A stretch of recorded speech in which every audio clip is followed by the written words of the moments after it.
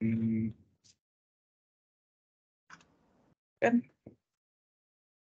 Hi, everyone. Um. We'll start by reading the mission. Would anyone like to read the mission? Go ahead, Krista. All right, to support the evolving needs of the MSU Denver students by advocating in their best interests to enhance the university experience and opportunities. Okay. Everyone agree? Mhm. Yeah, you're ready to say aye? uh, Oh, great. Aye. Okay, let's take attendance. Uh, Denny Palacios, Matthew Rathwin here. Naomi Hawkins here. Tom Cheney here. Alejandro Garcia's here. Michael Warner here. Kristen Nairgard here. Online. Uh, Paul Nelson here. Thanks for the cue. Gabe Trujillo here. Okay. Will is here. Uh, okay. Uh, someone remind me how to do the approval of agenda, please. And motion to approve. Is there any changes that we made to the agenda? Yes, I would like to just have added um a section in new business. Um, just that uh I wanted to speak up for some students that are unable to make it to public comment today. Um, about some very serious issues they've had with work study and how we can um address, help those students um potentially make it better for students in the future. I second that. Yeah, so- Okay, a second. Also probably one of those very good students. Same, same, Okay. Sorry, talk about it. or were y'all like? Does everyone agree to this? Uh, Paul has a, go ahead, well, well, let's vote on this first. Yeah, yeah. Yeah, everybody that agrees, say aye. I, Aye. Aye. Any I, nays? Awesome, the ayes have it. Uh, Paul, go ahead. I was hoping that we could at the very end, and I'm I'm open to withdrawing this motion if we end up running a little tight on time, or if we want to, um, yeah, I, I- ultimately. But uh, uh, happy wagon, just put happy wagon at the at the bottom. It's a, it's surrounding the. Uh, it'll be like a survey. Uh, I don't know if y'all remember the dentist toy chest styled Yeah. uh, outreach idea that we'd um, heard from some of our peers. But I want to actually kick it off, and I, um, I have like a little proposed uh, amount to put at it to combine with some of our already existing swag. It's not super significant. It's kind of like a little beta test, so to speak. But I think it could yield some good results about what the uh, what kind of issues are affecting the students or how their experience is going. That's it. Beautiful. And if we don't get to it, would you okay with tabling it for next week? Oh, totally. This thing can wait until next week or the week after, but it's an idea. Oh, I'd I'm sorry. They are adjusting the volume and I can't hear you. Hold on, hold on. Please oh. pause. can you speak now?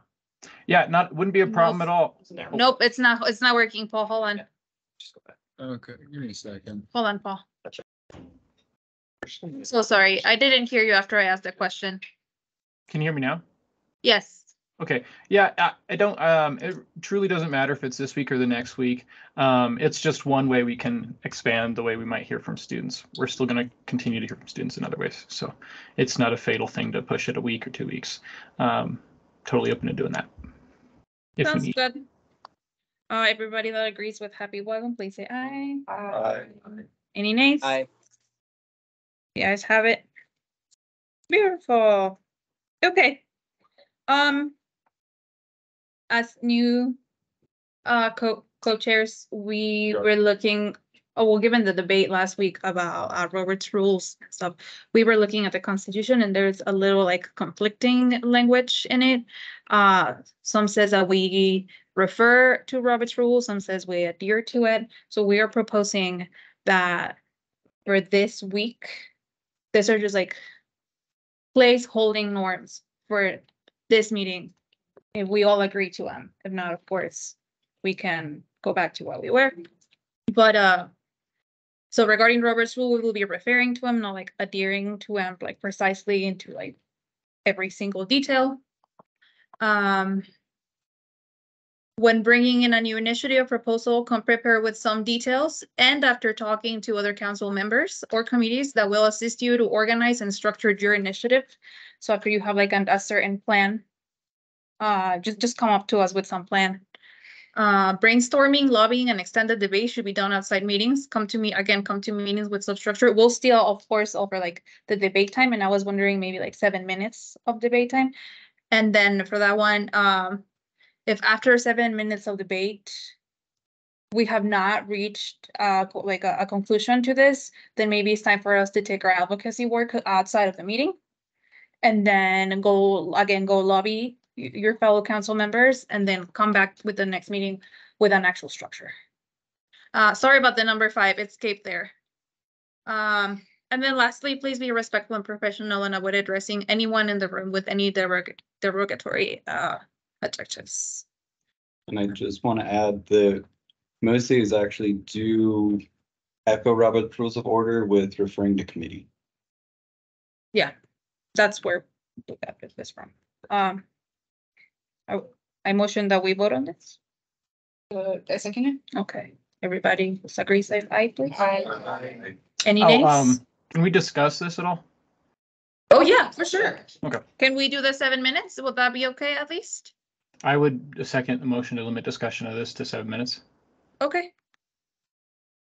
Would everybody agree with seven minutes, say aye? I, I Okay, Paul. All right.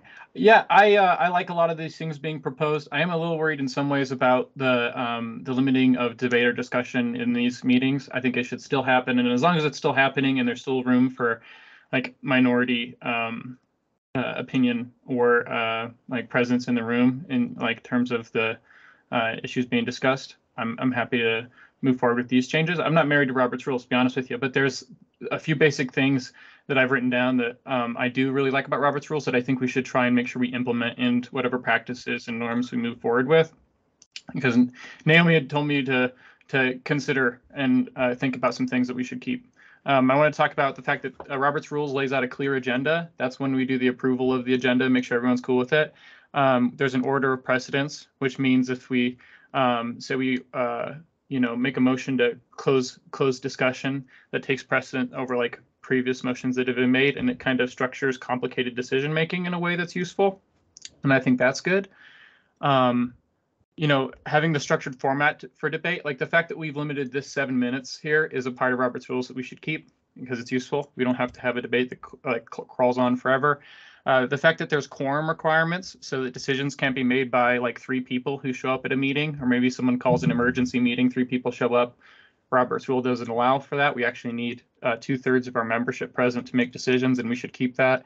Um, minority rule with minority rights. Like I said, it, we should respect the decision of the whole council, but you know, the minority still has a right to express, um, you know, uh, the the the view in the decision making process, right, and, and take part in it. Um, clarity in voting. We have different ways we can have votes. We can do. The, oh, Sorry, my cat no, I- disconnected my earphones, No, so I can't good. hear anybody. But um, clarity in uh, in voting, uh, there's some level of conflict resolution present um, in being able to refer things to committee or um, like like that. Um, efficient handling of motions. Uh, talk about things like amendments and revisions. As like rules for how to handle those are kind of clearly laid out, and then it's accountable and it's transparent.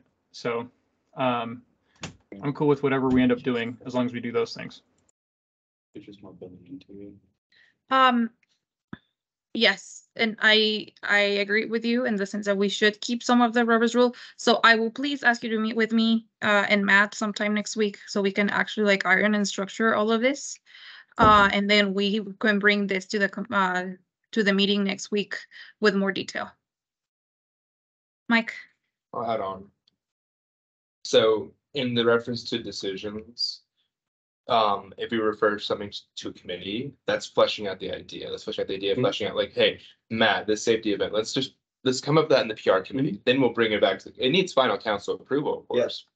But um, it's not making a decision of three of us, like, that's just, hey, committee doing its job. Yes. So, and I think that's what you guys are referring to. when you Yes. re- Bring up this document, so. Yeah, so it's more to limit the bigger debates within the Yeah. council, so we're more focused on voting on ideas and fleshing like small or like bigger aspects of it out. Um, and then working with committees or outside meetings to work through all the muddy stuff. Correct, and I mean, I believe it's in the constitution, you, the USPR chair do a lot of the event planning, and anyone can join that, that committee as well, so. I just referring to the constitution, sounds right. That's all I have though. Um, and no, Paul, I like that, that's what the seven minutes are for. So as long as you come in with a, a- like a resolution and some structure with it. Uh, that would, like, the seven minutes will always be offered after a proposal or anything, you know, if you. Brainstorming or debate or, uh, but that will always be assured within the, like, within the student on Fridays. I mean, within the meeting on Fridays. Yay? Okay, so I, I motion we vote for this placeholder I just for today. Second. Okay, um. Everybody who agrees says aye. Aye. Any nays? Awesome, the ayes have it. Abstentions. Oh, abstentions, yeah. Sorry, anybody abstained? No? Great. Um, okay, let's go look at our boards and committee announcements. Let's start with Mike, Board of Trustees. Okay, so in preparation to the meeting on the twenty second, um, uh, September, that's when the first board meeting is. I've been meeting with all the vice presidents, the VPs to get a better picture of how the university operates. So, um, this week I met with Dr. Benitez Monday. We had a really nice lunch, um, talk about kind of what his department does and how student government can get more involved in, um, the diversity inclusion aspect of what he does, his work. So he should be sending me some events that we can sponsor, we can go to, um, there's a lot of good events. And then, um, Tuesday, I met with Dr. Moore, our provost. Made some discussions on the, um, getting rid of the minor requirements, um, as well as the faculty workload, um. And we just kind of some discussions and, um, what I'm gonna do is that's the point, is to take a straw poll thoughts on the minor requirements. Um, I personally think I don't have a minor, I don't need a minor for my degrees. I don't really find the issue with it. I just find to have it done away with. Um, so those are my thoughts there. And then I met Dr. Carpenter Wednesday to get a better overview of the budgets and the U package. So I'll back. it. So comment in reference to that. Yeah, okay. Well, I just want to say, like, on as, as a perspective, we were talking about this in the biology department, a minor not being something that we have is yes, increasing our tuition or our tuition, um, our retention rates, and that's great. But then also putting some of our students in, I don't want to say like at harm, but they're not necessarily benefiting the best from their degree if they're not getting that minor necessarily. Because a lot of institutions, especially in the STEM field, are looking for you to have like that extra expertise. Um, or I guess entry level of experience in this field. So I think that that's also something they need to consider, even though it's already said and done, but I mean, it is what it is, so. Will, do you have something to say? Um. I have a question, but I'll hold off till we done. That's it, that's all, you- that's it, okay. I'm curious, uh, how did your meeting go with, uh, the CEO of AHEC? Oh, I forgot, we just did that too. So I did meet me, forgot, I know lots of this week. Um, so I met me and Bria Combs, student vice president of CU Denver, as well as Savannah.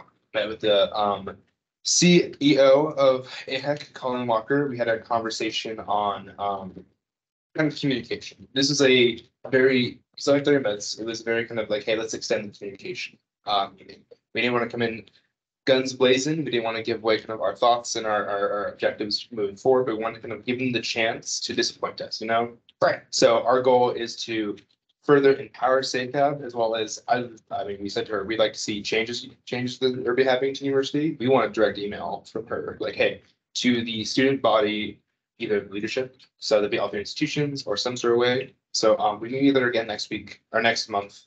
Um, but we're gonna continue these talks about how to fix the communication issues between students and, uh, AHEC.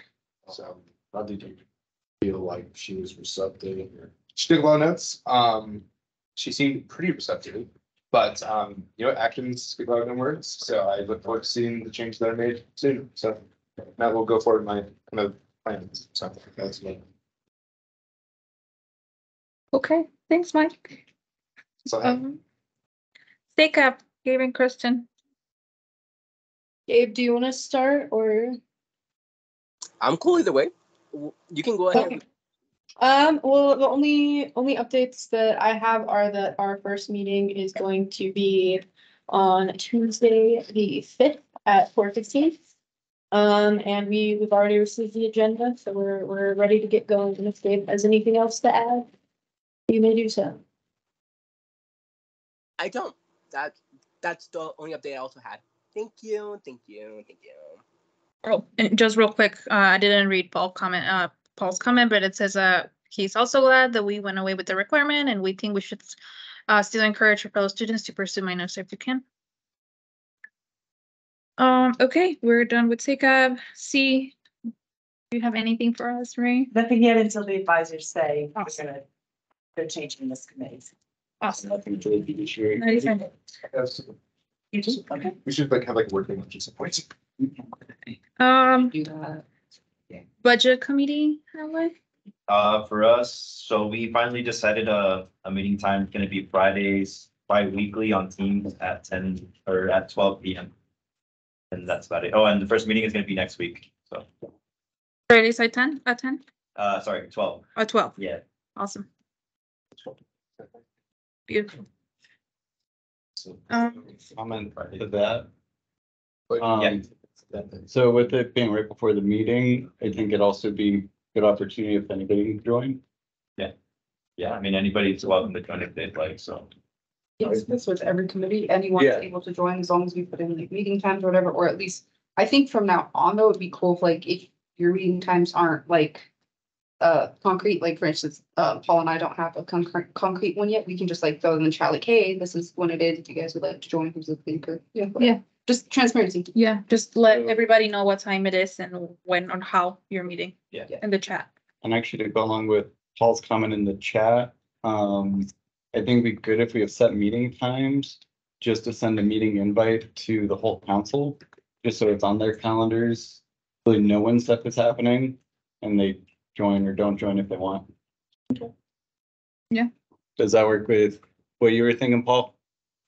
Yep. Awesome. Do the meetings. Like before. Uh, it's gonna be on Teams. Yeah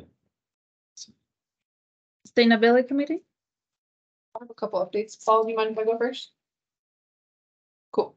Um, so Armando and I met with, uh, some people from, like, they're called Aunt Flo. This company is this really awesome company that this woman, yeah, she, uh, ended up inventing this company because she went to go on stage for like a presentation. She just started her period and she went to the bathroom and there was like no resources for her, like, so she was like, I don't want this to happen to others. So she has this company, we got some budget, um, logistics down and we just need to meet with ACP, which uh, I filled out the when to meet form. Um, so we're trying to figure out when that's gonna be. Uh, and just go over like, um, if we would want to make this just MSU, which means we then just have to only do MSU buildings. Or if we want to do it as a tri-institutional kind of step forward, and then we would have to then talk to all institutions and what their budget would be, what they can contribute to get these uh, modules in the building. And there's different models that you can sign up for. Um, that are, you know, increase uh in um costs depending on which one you get. And then we did like a budget to just do like what maybe like the minimum might be for like um just like a package deal every semester, which after honestly, after the installation, it looks pretty affordable. It's looking at like eighty-six hundred or something like that a semester, so that's really not that bad. And all of the products are biodegradable and they have pad options and tampon options. So I thought that was a good, really cool thing uh that they had going on. And yeah, um. So, Yeah, Paul, do you have anything? Uh, yeah, so um, I, I I really do support the idea um, and uh, moving forward with that. I don't really bring any novel ideas into the committee at, at present. My um, my idea has been to meet with the SCP, find out where they're at, what they're working with, so that we don't reinvent the wheel of what they're doing. Um, we'll be meeting with them at some point in the next couple weeks, and so our when to meets are finally lining up, and uh, we'll have a, we'll have a meeting with them scheduled and an idea of what we do beyond um, this initial idea. But we also, like uh, Naomi had said originally, uh, we want to be practically minded. And so even if this first project was, you know, a main focus of the committee for some time, I think that would make sense to see it like uh, succeed. That's it. And I have some comments to that as well. Um, first off, I did actually mail back on the email. Um, I want to support that as much as I can, so let me know how I can help. Okay. I did write that like I may not be the best point person, um, but also I believe uh U Denver already has Yeah. that program. Yes. Uh, maybe not with Aunt Flo, but they do They do have- that. Yeah, yeah. And there's also a. and I'll have to find it, but there's education bill, the has funding for um, those kind of products.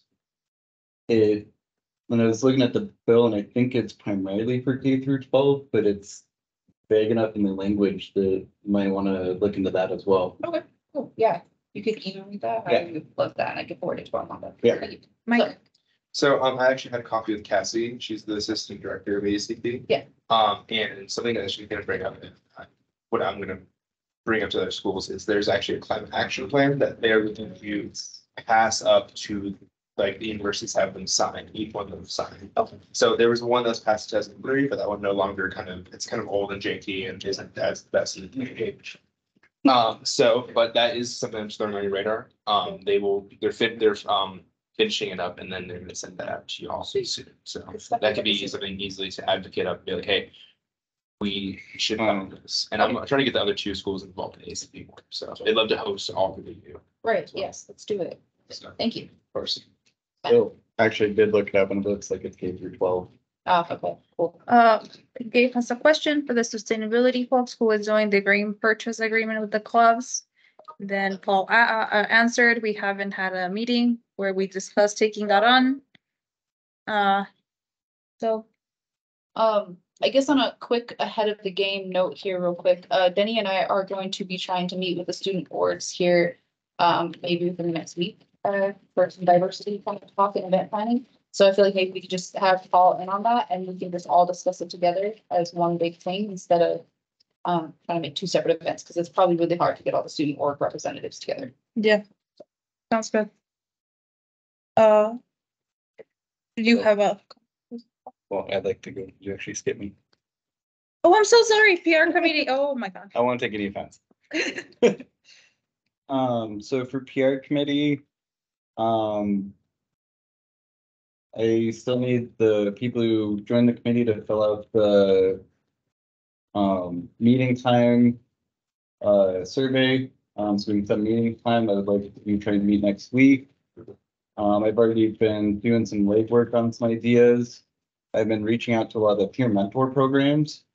Um, to try and work towards like a needs assessment kind of meetings with each individual group. So we can find the trends of what issues are affecting some of our most vulnerable populations to see what we can try and bring back to student government. Um, and this might have to be more of a resolution later, but I'm also trying to, after that, see if we can't get representatives from these orgs to work with us and keep our like the voice of the students within the council a little better. Did you have something to add, Mike? I have events so that, and that's being over. Oh, and also at that, um, as part of the PR committee, we do. PR committee is in charge of like helping with a lot of the events. So anybody who has events and needs help fleshing stuff out, that is what we're here for. Yeah. So there's two events that are coming up soon, and I would suggest putting on your calendar, because. I mean, if these are gonna be our events, you should be there. Yeah. Um, Fall Fest is the twentieth. So, um, and Constitution Day is the eighteenth, so. Um, those two events are gonna be something we're gonna take on. Um, next week, when PR committee does meet, we're gonna plan the event, and then we'll bring it to the council, of course, for final approval. Um, but just put those on your calendar, I mean, full council approval, or, uh, once we get full council approval, it's kind of, kind of required to be there. Yeah. In one fashion or another, so. Just putting it out there. Ale. Can you repeat those dates? Yes, so Fall Fest is twenty, um, times to be TBD. Actually, I'll send out a calendar invite to make sure y'all have this. From eleven to So eleven one. And then, um, Constitution Day is going to, Constitution Day is going to be September eighteenth. So. And I think we'll add I'm gonna do that. a couple of things to add too. No, go after, Bring, bring that up later. go ahead, Right on, okay. Just do it. all. it's about, So for Constitution Day, I'm currently writing, well, I'm finished with the bill and we'll be presenting it next week. It is just mostly a basic rundown of like the dates and what we're trying to achieve as well as some funding for, for the event to be successful. But it's done. Simon's already looked over it. Had a few people look over it, so I'll be presenting that bill, uh, next week on Friday. Beautiful. And then I'll get with you to, and Senna to get the PR stuff started for that. And then let's let Danny make her comment and then maybe you can also talk about what's on your screen actually. Yes, I'll bring that up in next month's. on. Um, mine is also a constitution day. I also just wanted to update that, given my, she made me the primary contact. Um, I do have a meeting with Senate tomorrow. Uh, we're gonna have shots of the actual de- details on like, we're planning to do some like constitution-based games, sort of like when you go to Bible school and they tell you like, where in the Bible is the history of Jonah, and then people scramble to look where that is. Um, so yeah, we're kind of looking into that again. While I will also come next week with some concrete ideas. Can you let me know when your meetings? I would like to join and brainstorm with you. tomorrow. What we, because, but we're also doing model U and stuff. Oh, okay. Yeah, but Or we'll just keep keep me you in updated. I will keep you updated, promise, Alright. on that. Uh, okay, well, do you want to tell us about that? Oh, because we're doing open floor, anyone, Or- any? Oh, This great. is. No. This is specifically for tri-institutional. So we'll bring it up. Okay. Okay, hi, Rick. Hi. Apologies for being late, you guys, assuming it was on the fourth floor instead of the seventh floor. I was taking blind.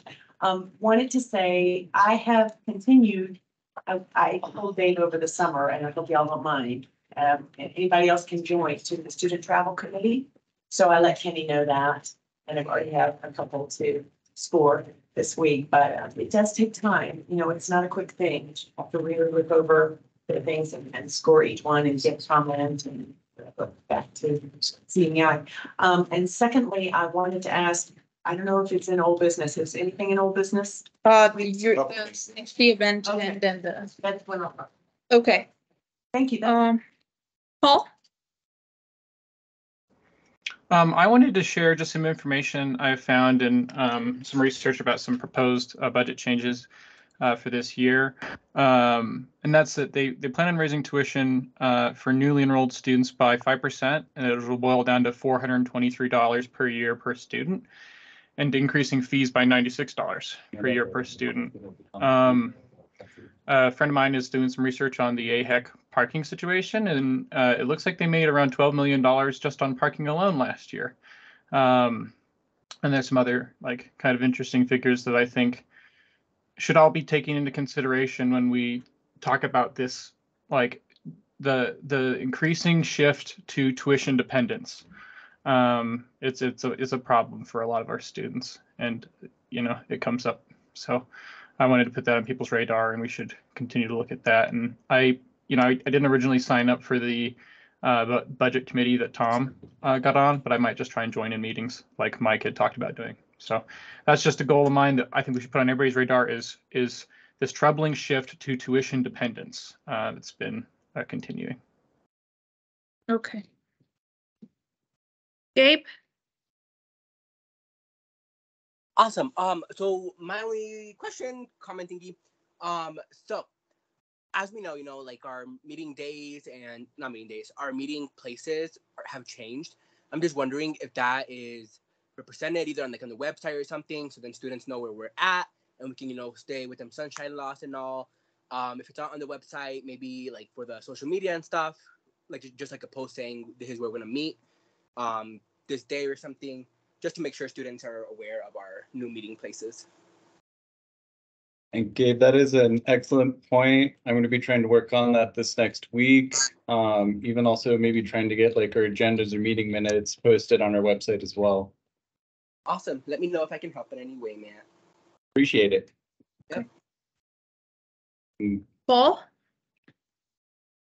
sorry to double dip. I'll keep it short. Um, I um, my the same friend who'd looked into the parking situation also um, told me that he he found out that the students had uh, voted to increase fees to uh, by three dollars in 1991 in order to purchase back the Tivoli Student Union from some third party, um, and they chose to do that and paid for it with student fees. And I'm not sure. Um, about the transition between then to now, where students are having a lot of trouble getting space you know, like the city's hub is gone and we actually have to wage this kind of like lengthy fight for a spot. It's just, it, it, it's not cool. And, and I know, um, you know, it'd been raised by members of the community and uh, fellow students.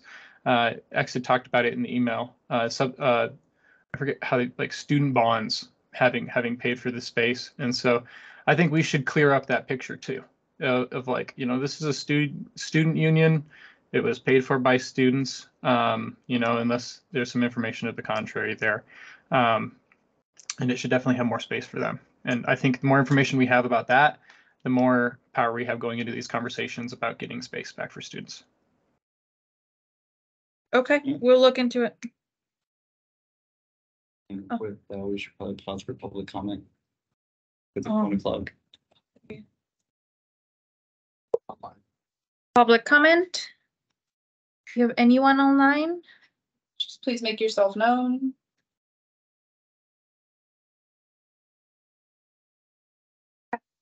This is probably not the place to ask Robert's rules, but I feel that we should move this back. We have such big agendas that it's tight to get to that number to at one o'clock. Yeah. I think, especially with advisor updates. And I don't know where the point is to bring that up, but I think it's something we should consider, just pushing it back just a little bit, Yeah, Maybe to like one thirty instead. usually. or even one fifteen, you know, yeah. just that little buffer. I meant to say that last week too, so. Yeah. Sorry if it's in the wrong place. to say Nope, that. it's, we're good. Well. I just want to say something real quick. Just keep in mind, one to one fifteen is public comment. Um, if somebody did jump in later on, one to one fifteen is time where people can jump in. Rather than we can just continue. Okay, It does look like someone's typing in the chat though. someone's typing in the chat? Oh, shit. There they are.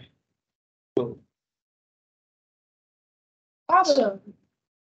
Okay, we have public comment. Okay, Colin Kelly. Yeah, Kelly, if you want to unmute yourself for public comment. And just to be clear, everyone has five minutes per person, but go off. Oh, Kelly actually said her mic's not working at the moment. Um, I will read. okay, Uh, Kelly sorry, I can't have my mic on at the moment, but my name is Kelly Hall and I am at the community organizer for Black Etc. We were wanting to discuss having spaces open to students' organizations to gather and coordinate our efforts.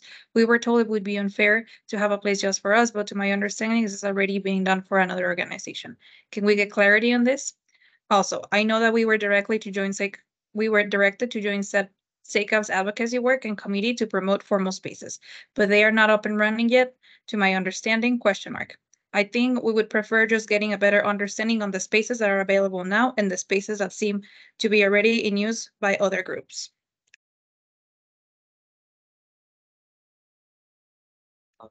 It's a clarifying question. Um, we do have members of SDS here. Do you, Yeah, is this regarding SDS?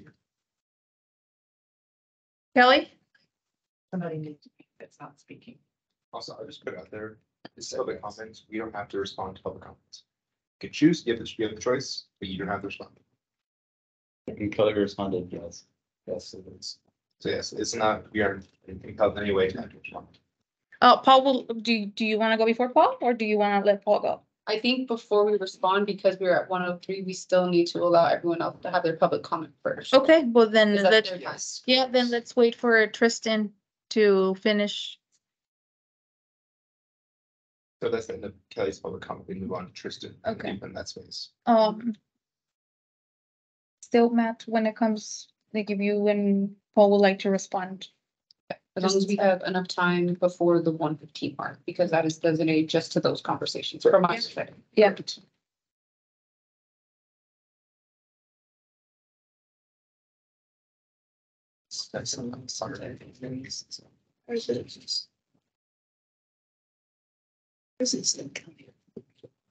Second Kelly's cons, okay, Tristan said, I second Kelly's concerns and the concerns raised by X in his email to TSAC on behalf of uh, Black Era. I also am unable to unmute at the moment. There's one more. Yeah, auto Come. Um, Looks like two more. and uh, X. It's like the-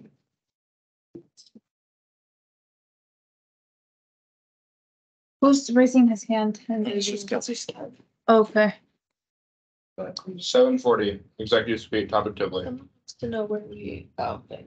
Uh, we are at seven forty in the Tivoli. You have to take the elevator that's across from the brewery.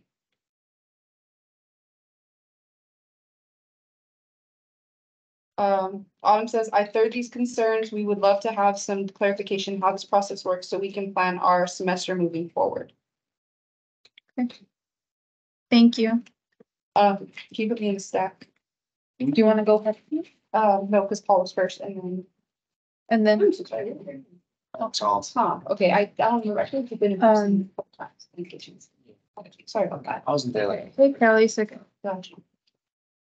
Okay, well, there's one, Kelly, uh, Gabe is, uh, answering that SACAB is going to meet on Tuesday at, uh, four fifteen.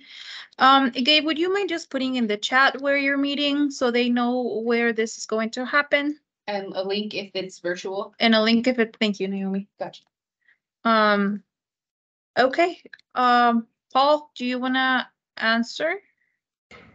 Yeah, Yeah. sure. Um, I want to just echo sentiments from even last year. I want to extend, uh, I know maybe not everybody on the council agrees, but I think that if you're a student at MSU on our campus, you have a right to be in, uh, exist in our office and use the space, use our computers or, um, you know, especially with the way in which uh, clubs have been uh, choked off by the restriction of Siggy's Hub. I do think that it's reasonable to use some of the space in like our closets or um, even some of our shelves to um, make room for student orgs that are at this point in time having difficulty uh, finding space.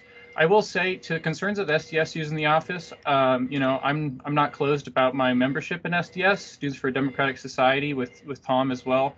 Um, it's it's a big part of how we advocate. You know, um, we're some of the within this organization, we're some of the most civically involved um, students. Um, we, we go to state legislative sessions, advocated for the ICWA resolution that was passed at a state level, advocated for some abortion rights legislation that was passed at a state level, as well as our direct action in democracy. And I, you know, I think it's a good thing. I think we should expand that resource to anybody else that wants to use our office to advance like democracy and, and civic engagement. I think that's a big part of our mission statement is is uh, well maybe not our mission statement but a big part of what we we talk about whenever we talk about elections and constitution day and everything else is civic engagement and so um, i want to welcome a continued conversation about how we can allow black Xera into our office i think a big obstacle we're facing right now is figuring out like when is the space open because um, it's really irregular we need to set up some hard schedules so people can know when they can access the space and use it um, and I personally think it's reasonable to extend uh, badge access even to or like registered organizational officers. But again, I know I might be in the minority of that opinion. So I just wanted to share my thoughts on, it, and I want to thank everybody for voicing their opinions on the on the thing. So And Naomi, did you have something to I think it was Kevin's. Oh, I'm s- I would like to hear some other voices performing, if that's okay. Yeah. Um, I would like to voice that, like, although Paul, you are speaking this now, there was a lot of discussion last term with all of the TSAC members that did not indeed feel, make Black Era feel welcome in that space. And I understand that sometimes like student orgs need to put their stuff in a space for like a couple of weeks at a time, and I know that's not necessarily viable, and I get that. So maybe if this is a discussion where we need to, because that is student space, y'all are paying for your student fees, you should be allowed to use that space, period. So I feel like if that's the case, then TSAC needs to have a conversation with all the student orgs and let them know like, okay, these are the set rules. You can keep your, you know, stuff here for like X amount of days. So that way, like, we can work on getting room for everybody in that space if something, you know, comes down to for an event or whatever it may be. Um, but Paul is one hundred percent right. There's a student space, y'all paying for the student fees, they should be allowed to get it. Um, as when it comes to the card access, though, I do feel like to avoid theft, I do think it would be a good idea to only allow TSAC numbers in there still. And to make sure that we do have that schedule up and then share that with the student orgs and share emails and make sure they have direct access to this because we don't want accessibility being a problem that they don't have access to these rooms. I know I damn well don't go into that office all the time and sit there and use one of the desks all the time. So there's no reason why I don't think student orgs couldn't use a desk there. But they have to understand that it is also a community desk, so that way they can use it for other or other student org can use that as well. Um, and. Of twenty six, um, but yeah, so I think that that's something we should also look into potentially doing, but yeah, y'all are right, we have this, this is on our agenda to try and get a student space. More organized for the majority of students, um, right now it's just funding, AHEC, of course, is really shitty at communicating, I have no apologies about my language because it's true. Um, and trying to just get what we need in those spaces for these students. Um, so yeah.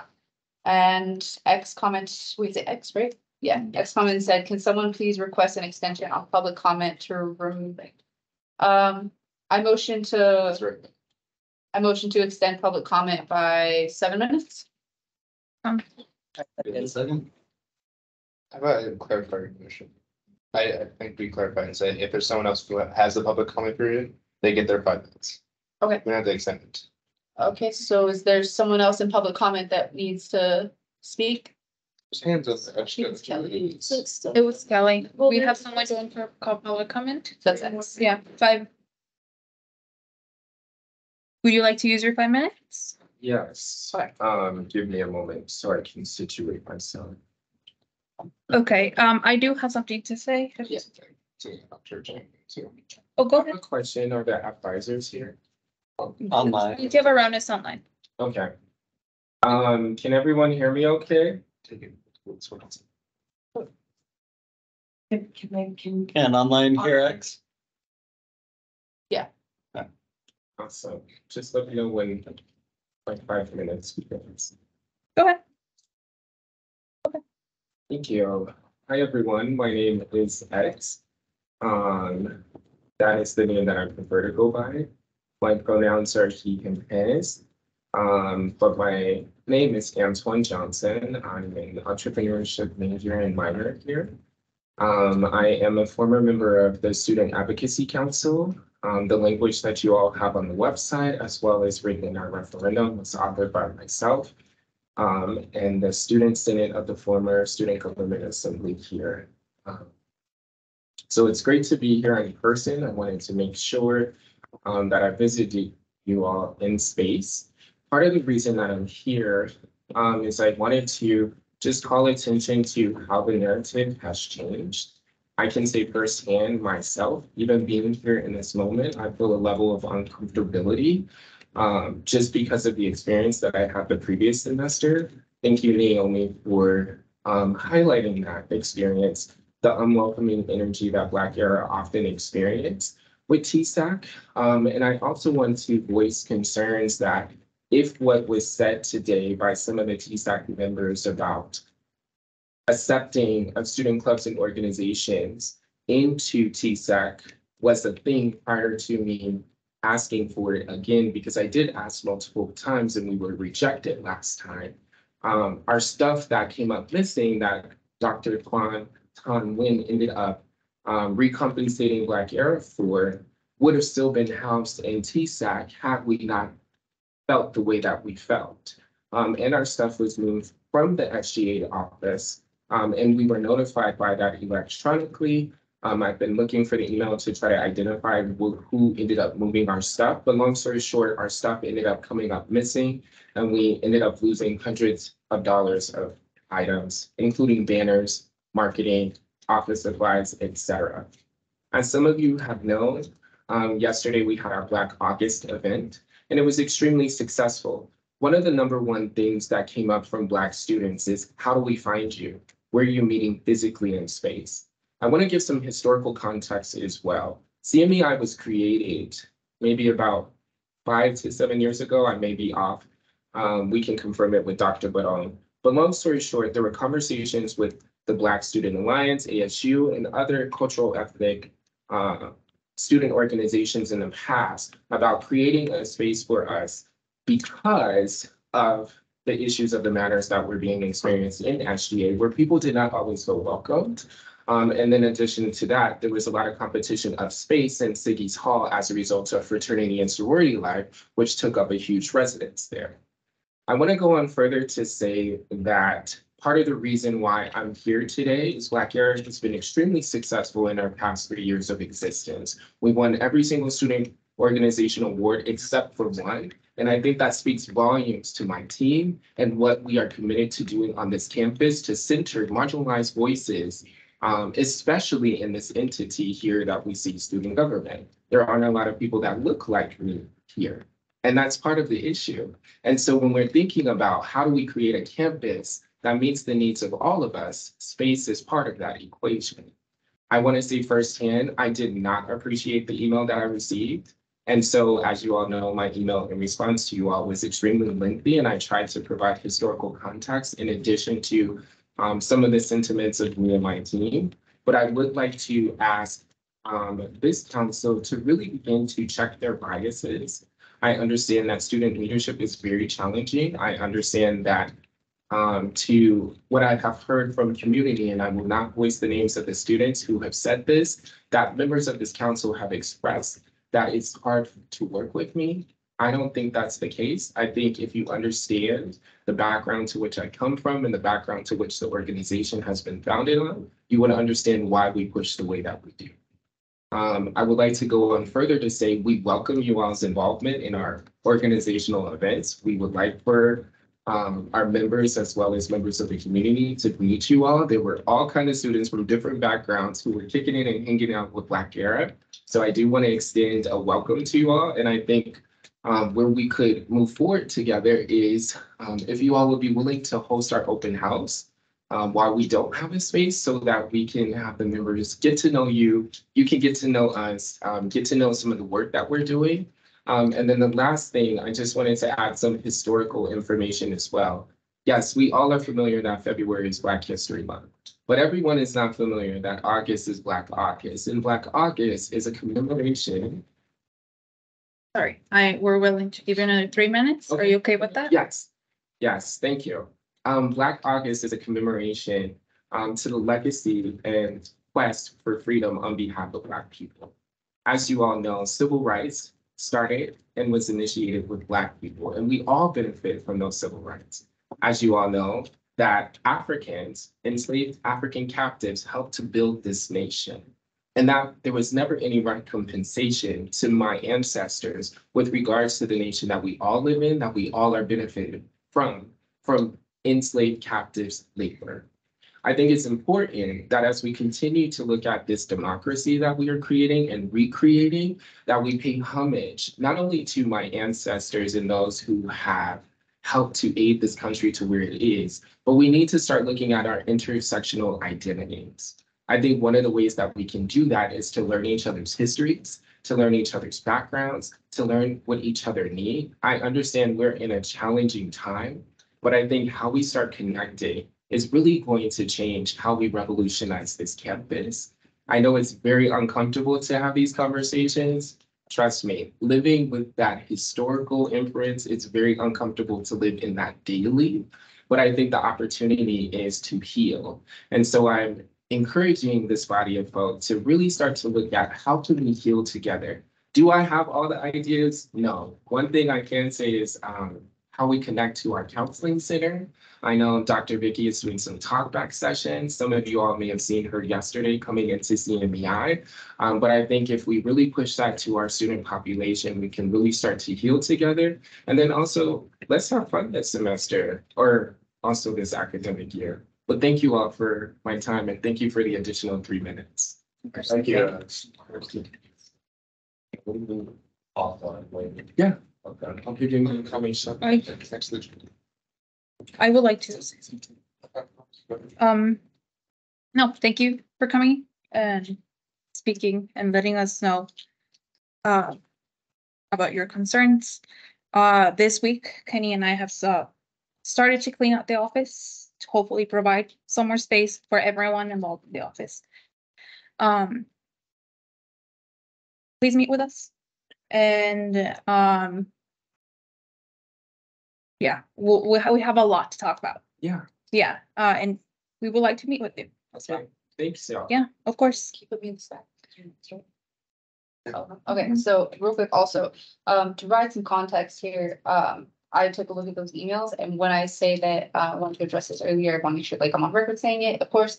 Um, the way that we handled replying back to X's um, like requests from us and everything like that. I don't think it was appropriate because although that we have certain people in charge of our emails, I think that we should come together as a team when something like this happens and to provide context. Because sometimes like the historical relationships between previous students and the council are misrepresented, and that's really hard to understand. So we don't understand how to validate where these students are coming from when they come to us again with these fearful, um, you know, insights. You know what I mean? Like I'd be afraid too to come to us if like I wasn't welcome and my stuff got thrown away, and there was hundreds of dollars that went into that because sometimes that comes out of students' pockets, right?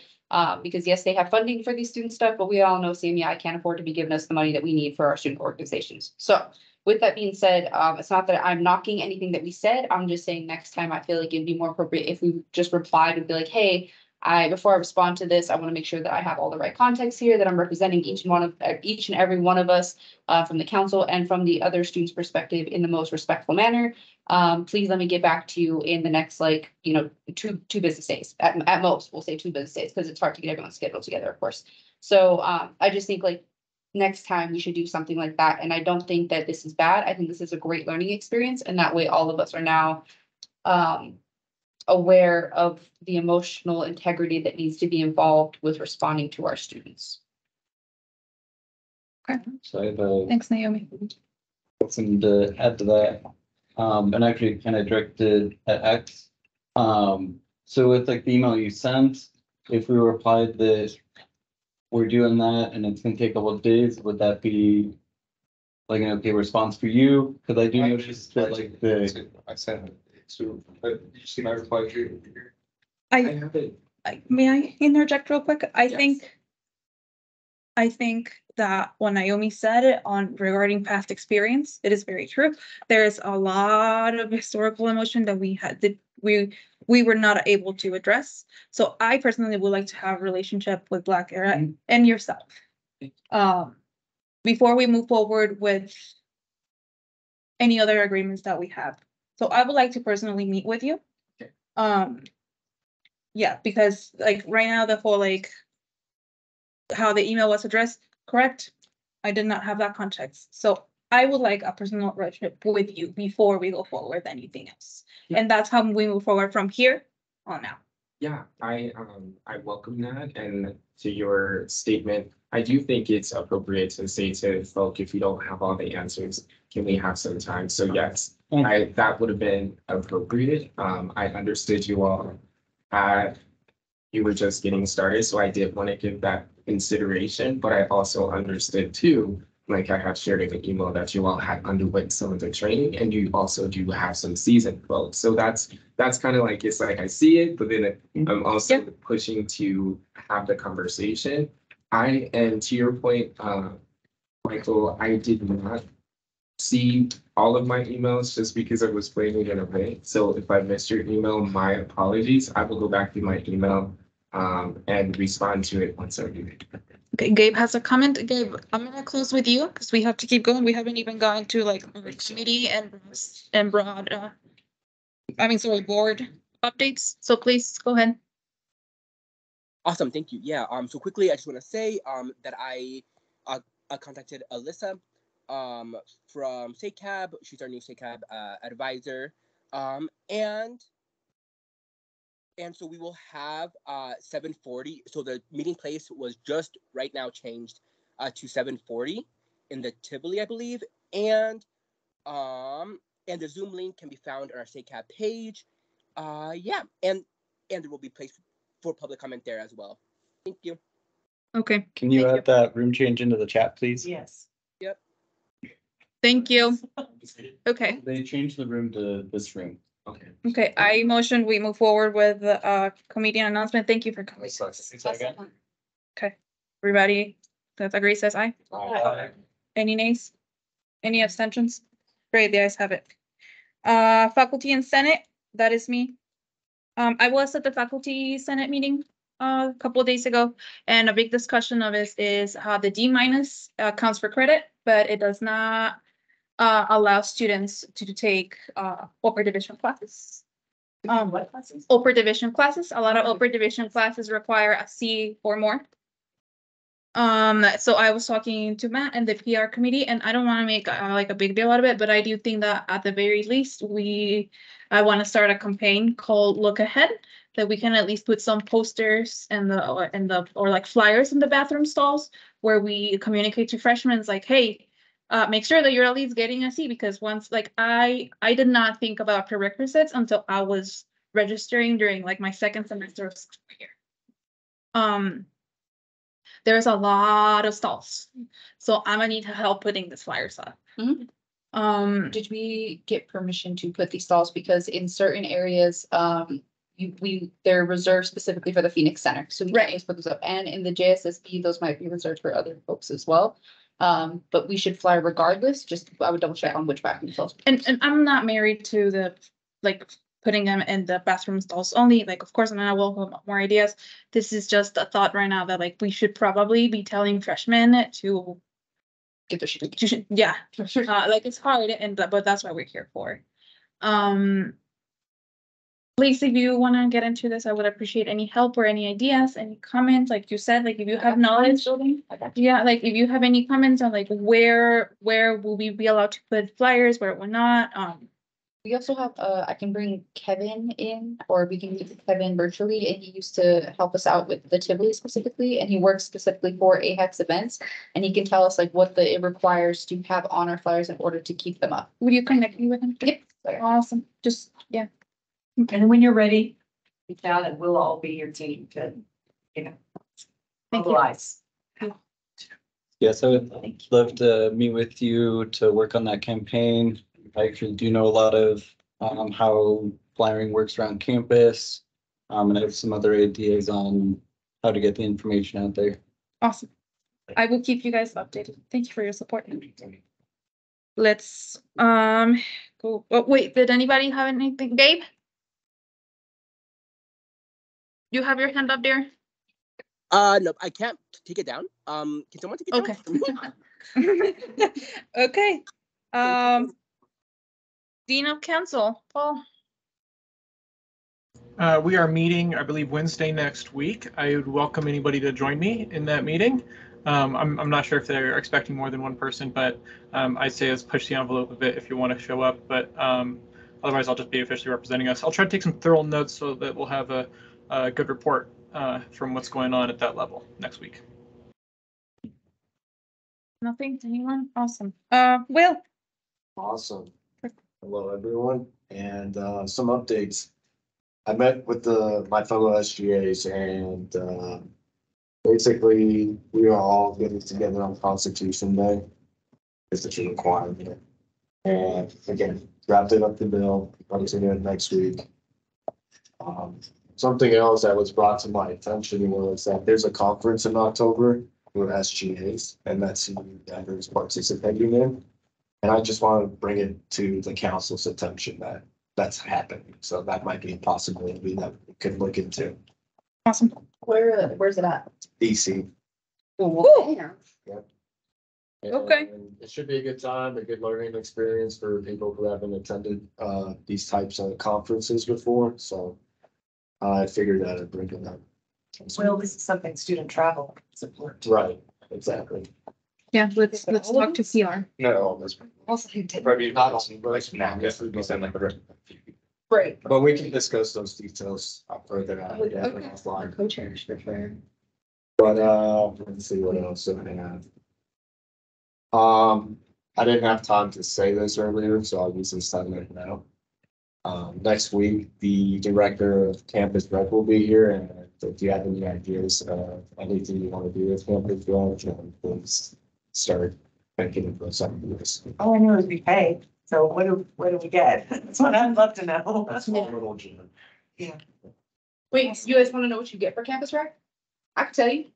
So, Well, Can, yeah, okay. do you guys? Oh, do you want it right now? It's very short, like, basically you get opted into, as long as you're taking one credit course that is not online, like you are on campus or whatever. Um, you do get access to the rec room, um, which is like our gym, and then you also get access to our classes. Um, which they have a variety of different classes like boot camp, yoga, yada, yada. You get access to the climbing wall. You get access to the stuff that's an outdoor rec, which you can go on rent. They have, uh, camping gear. They have, I think they still have kayak. Um, all those nets that you see out for like football, volleyball, or for soccer, volleyball, um, that kind of stuff. They rent that stuff out to the students as well. They have cornhole, I think, multiple different types of games. They also um do trips for students to go out to like Moab to do like rock climbing, stuff like that. You have to sign up, and I think it's like at low cost. So like you're not paying like an excess amount, I think it's like two fifty per person or something like that, depending on how many students go.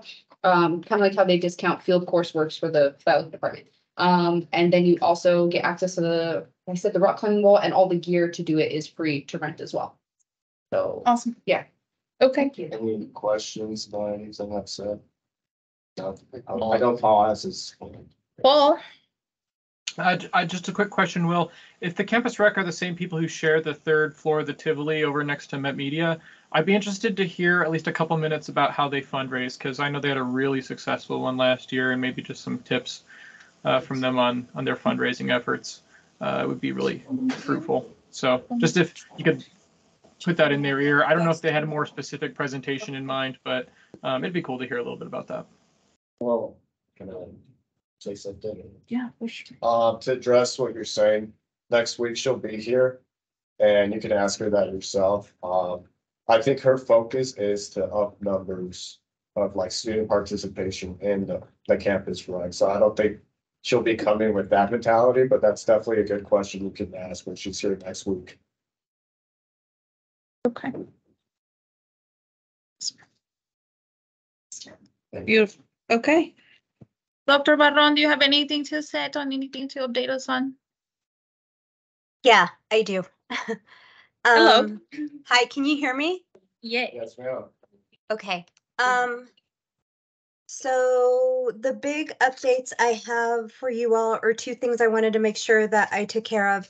One of them is um, I met with uh, Dr. Manny Del Real, who is our executive director for HSI um, initiatives here at here at the school, and we I was helping him with planning HSI week which is um, September, it starts September 11th, so it will be that entire week. And he did ask me um, if there are ways that um, you all could either be present at some of the, or some of the events, or just help promote it to students. Um, and he didn't, didn't necessarily ask for co-sponsorship, but more so, are, can you all hear me?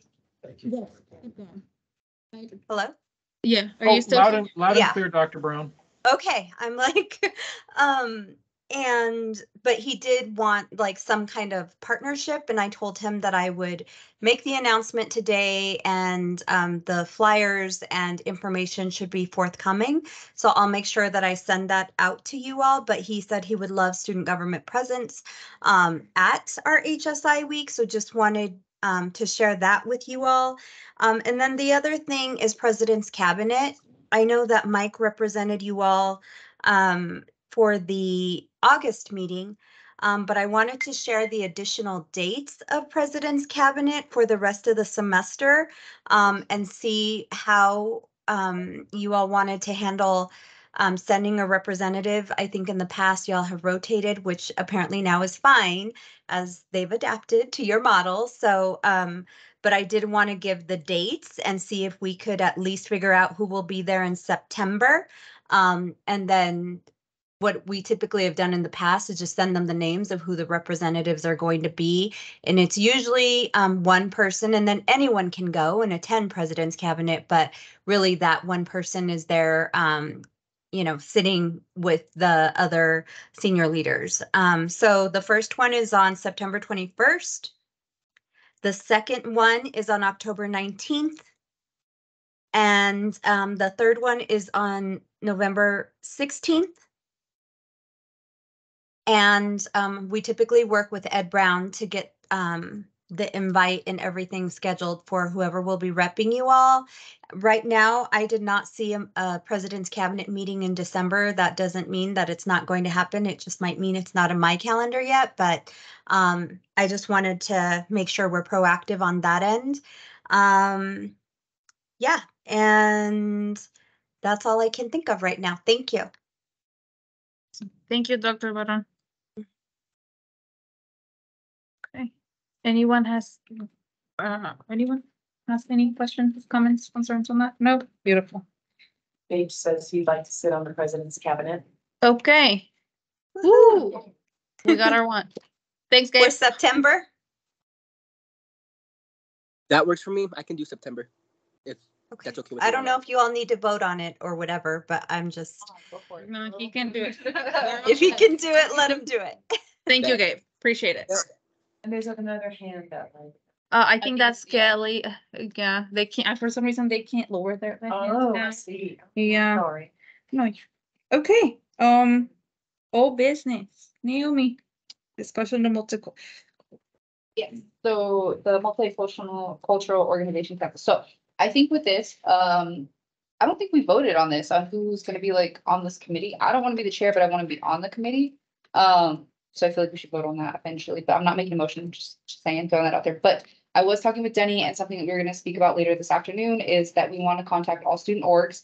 Um, and just kind of put in an email and say how we wanna hold an event that really brings the culture of as many student orgs and ethnicities that we have here on campus, although we are an MSI slash HSI institution. How often do we really see other people's culture being really expressed here? Like we have the powwow, we have Black Arab, but like that's it. What about our Arabic friends or Yeah. our people from, you know, Jerusalem or Ethiopia, like um Australia? Like I'm sure we don't really have a huge number of people from like other countries, but that doesn't mean that like there's still not different ethnicities on this campus that need to be represented in some way. And obviously, we're not gonna have the funding to necessarily do that academically, but we need to at least try to do it with like cultural events. So a couple ideas I was throwing out was like a food event where like we hired different food trucks because we found like Jamaican food truck, we found Ethiopian food truck. Um, we have uh Miss Yellowhawk who can do fried bread on the Native American side, and then we also have like pupusas for the Peruvians, Salvadorians, I don't remember. Salvador. Thank you, Salvadorians. And then obviously like we can get like Mexican food and like Spanish Soul food. food, soul food, hell yeah. I mean, soul food in Denver. I mean, we gotta find somebody for that. somebody in my neighborhood that has a. We better find them, but I'm down. Anyway, my Okay. point is we want to like have something like that. And I was also thinking of uh something like, this is just me because I'm biased, I like to dance. I think it'd be cool to have like um like a, I was not a dance off, but like a dance compilation, just like everyone come in, show off their moves from like their different parts of the world. I think that'd be like really cool to have. So like somebody out here doing like bachata or salsa, or like we got the butterfly step out here. Like it's be cool, you know what I mean? Um, just something to like really celebrate and emphasize your culture and influence others with that. I think would be a really important event. So, and even if it's the only one we have for the whole semester, that's still bringing more to the table than MSU Denver has done in like shit decades. So, yeah. Um, let's, let's brainstorm about this and let's do some, some things, um, because we were talking about the peer, like the, the Aunt Flo. Uh, and I think period gets looked at from different perspectives, uh, depending on the culture. So I think that could also be thrown in there. Uh, but yeah, let's talk about this outside the meeting just because. It's a lot. Yeah, and then we'll bring, we will bring structure Right. Yeah. in the next couple of weeks. I'm just saying, Dr. Bonetter. Dr. Barron, do you mind if Dr. Barron goes first? Go, go ahead, Dr. Barron. Hi, um, I just wanted to respond, Naomi. I think that's an awesome idea. And I also wanna, uh, what's the word? I don't know what the word is. Um, but, um, just, I guess, give you all a little bit of context. This has happened before. I mean, maybe not in the way that you're framing it, but, um, at least the dance part, we did have like a multicultural welcome back dance, um, when CMEI first, um, was established back in 2018 and we actually did it with CU Denver and their Center for Identity and Inclusion. So it was bi-institutional um, and we had a really great turnout. We didn't have food trucks and like all the extra stuff that you just talked about. We did have food um, and we had a lot of folks show up and it was really well attended and we did it behind the Tivoli um, where like the beer gardens are. Um, and we probably had maybe 100, 150 students show up between both CU Denver and UCD. So it has happened before, but maybe not exactly the way that you just talked about it. And we did it, I think, two years, um, 2018 and 2019, and it was pretty successful. I partnered with Soyan Bueno, uh, the director of Asian uh, student services over at CU Denver. Um, she's a good friend of mine. And so it has happened before. And I think it's a great idea. And I think it will, um, it will, I think, get a lot of students engaged. So just wanted to offer some context. Um, Thank you. Um, just so I understand that we've had dances before, but I just want to point it out that like, this isn't just a dance, like this is something very specified to embrace everyone's culture specifically. I feel like when you go to dance, you hear like, oh, Like you got the Dougie, you got the two step, you got the Soldier Boy, like you got the Cupid Shuffle, like, okay, cool, we get it. We, we don't give a shit. You get that at every single dance. We want somebody to come out with those Afro beats, somebody coming out with like the bachata beat, somebody coming out with like the Peruvian, the Salvadorian, like we want the Asian beat. I don't even know what the Asian beats be, but listen, somebody gonna tell me and we gonna figure it out, okay? But like, that's the point, is I want it to be very specific to embracing each and every culture here. I ain't never been to a club and heard some like Arabic beats. Let me tell you, they pull out some Arabic beats. I'm gonna look up something on YouTube and figure out how to dance to it. Like, it's just facts. Like, we want, yes, Korean pop, there we go. We want stuff like that. We don't wanna just hear the like consistent club music over and over again. Like dance brings people together, but I think we need to influence one another with it as well. Uh, Okay, just to make a point of clarification. like that. Uh, we're gonna do Matt and then Paul. Kind of line dance we talking. Sorry. Yeah. Go ahead, Matt. So semi-tangential to your event idea, I would love you to join some of the conversations um with the PR committee, how we're trying to reach out to the diverse student populations, bring their voices in. Right. Awesome. Paul? Um, I just wanted to say that um, when I was uh, attending high school at uh, Hinkley, we had this thing called Culture Fest. It was really cool. It had like a performative aspect, not performative in the in the negative way, but I mean like there was like almost like a talent show where people could bring in um, like uh, performance elements of of like cultural identity, if that's like written, you know, written word or if it's dance. We had Maori students. Um, I'm probably butchering that, but we had Maori students who did a haka and stuff.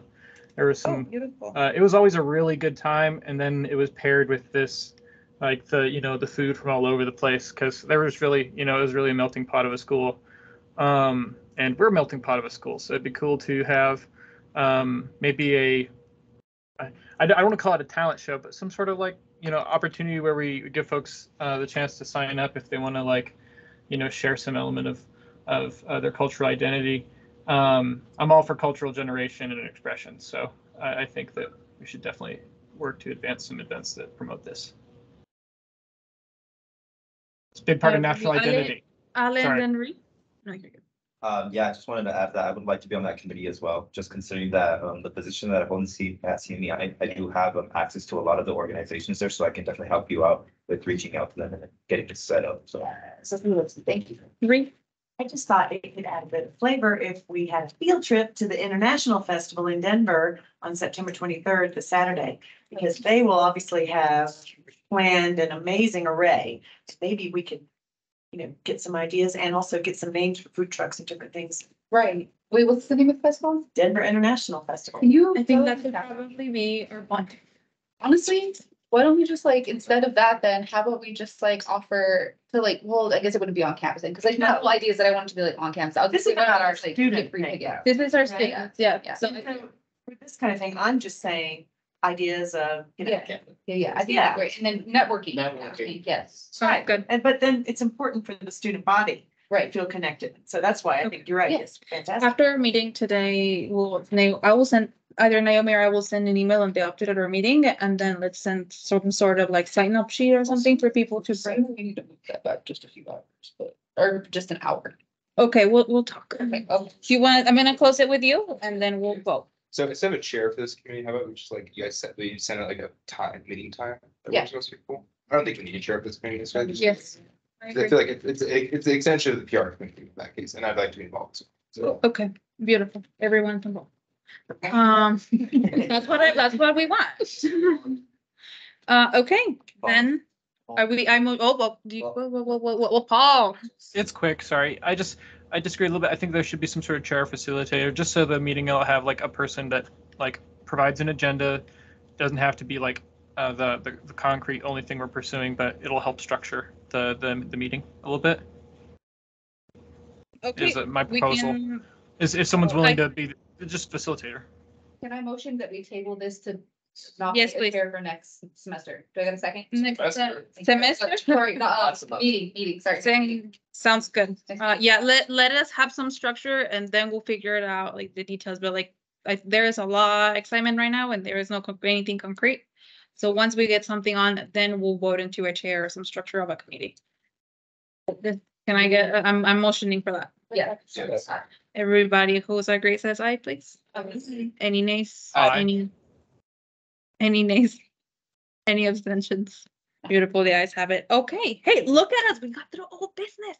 That's how, well, we're almost there. We're almost there, but like, we made it through like the first part of one page. We can do it. Let's just clap to, just real. Okay. Uh, uh, uh, Okay, All right. Ree. Oh, safety? oh, wait, do you have something to add? I have something. Oh, Ree, yeah, we're going to safety. Okay, so y'all, I know we had a very robust discussion last week about what a safety event could look like. And then I was paying attention to what's happening on campus and in a series of things that are planned for September, right? I have reached out, with, um, we were talking about maybe, you know, doing something on this. I, I've reached out to Taylor Tackett, whom I, with whom I originally spoke about this idea. And asked, you know, for his help because, you know, letting him know that we're concerned about police presence and, and how that will turn off some people, but they play a part in this, the fire department, you know, just making sure that we reach everybody. So the main thing is to make, let, let people know, student body and faculty as well, what they need to do in the event of some major emergency, whether it's weather or an active shooter or something. So I have not heard back from him yet. I would like, so I would like to ask, unless anybody has anything brilliant they want to share on this now, that we postpone it one more time until I hear from Taylor and maybe I'll have him come to the meeting too, so we can really work something out and have something. You know, we don't have to go back to him after. We can come up up with something. Does that sound I okay? agree. Yeah, Yeah. let's, cool. Do you want to make a motion, Ree? Oh, no, I think since it's her event, she can, she can withdraw when It's it's. her agenda, Yeah. you can withdraw. I can withdraw. Yeah. Yeah. I will withdraw this until next week, and if anybody wants to add anything, they can, otherwise. Do you have something to add? no, perfect. Do you? I was ready. Okay, moving on to a new business, um, constitution amendments. Like I said at the beginning of the meeting, there are some very confusing words using Robert's rules. That's why we came up with, uh, with the placeholder norms. Paul, uh, please email me so we can meet and like having some actual structure of everything you were talking about. Um, and then more than likely, I, we will bring more placeholder norms like more specifically structured next, next meeting. Um, but the wording in the constitution needs to be addressed for an amendment just because it is conflicting whether we use it, we, we use Robert's rules or not. Um. So. I, I guess I'm motioning that we use placeholder norms, at, at least for next meeting as well. That, that's all. The ones you presented earlier today. Uh, Yeah, I second. Point of uh, but, but, clarification. um, wait, wait, hold on, before I make a motion, I'm so sorry, Will had his hand up, yes. Uh, it's not really regarding your um constitution amendment, but it is regarding the constitution itself, so I'll wait for. Oh, oh, okay, um, I just had a quick point of clarification, so I understand. yes, So I thought you'd made the motion earlier that we adopt those norms while we discuss like, like more, more complex. I feel like we're motioning for the same thing. yes, Is that- I, I think, I think you're right. Okay, then I, I would propose we just, uh, carry on with the business of the day. Uh, Okay, you I know, think, okay, I have a stack, but then after the stack, completely. Um, I would just suggest responding to the dean's email. Um, having them, I think, having them in the space to kind of go over norms with us and expectations stuff would be very beneficial, so I just. to put that out there. Okay. Dean, Dean, and Bagley. Kristen. I just wanted to clarify really quickly, are we voting to amend the constitution or are we Not just? Not yet. No. Th- This is a more, this is a really big fish. Yeah. Really big fish. Honestly, I would feel like just let anyone know when we do go, do go to do this, whatever you put in for new business, just know that we probably won't get to it that day with the amount of discussion that will go on for amending the constitution. on that Right, day. right. yeah.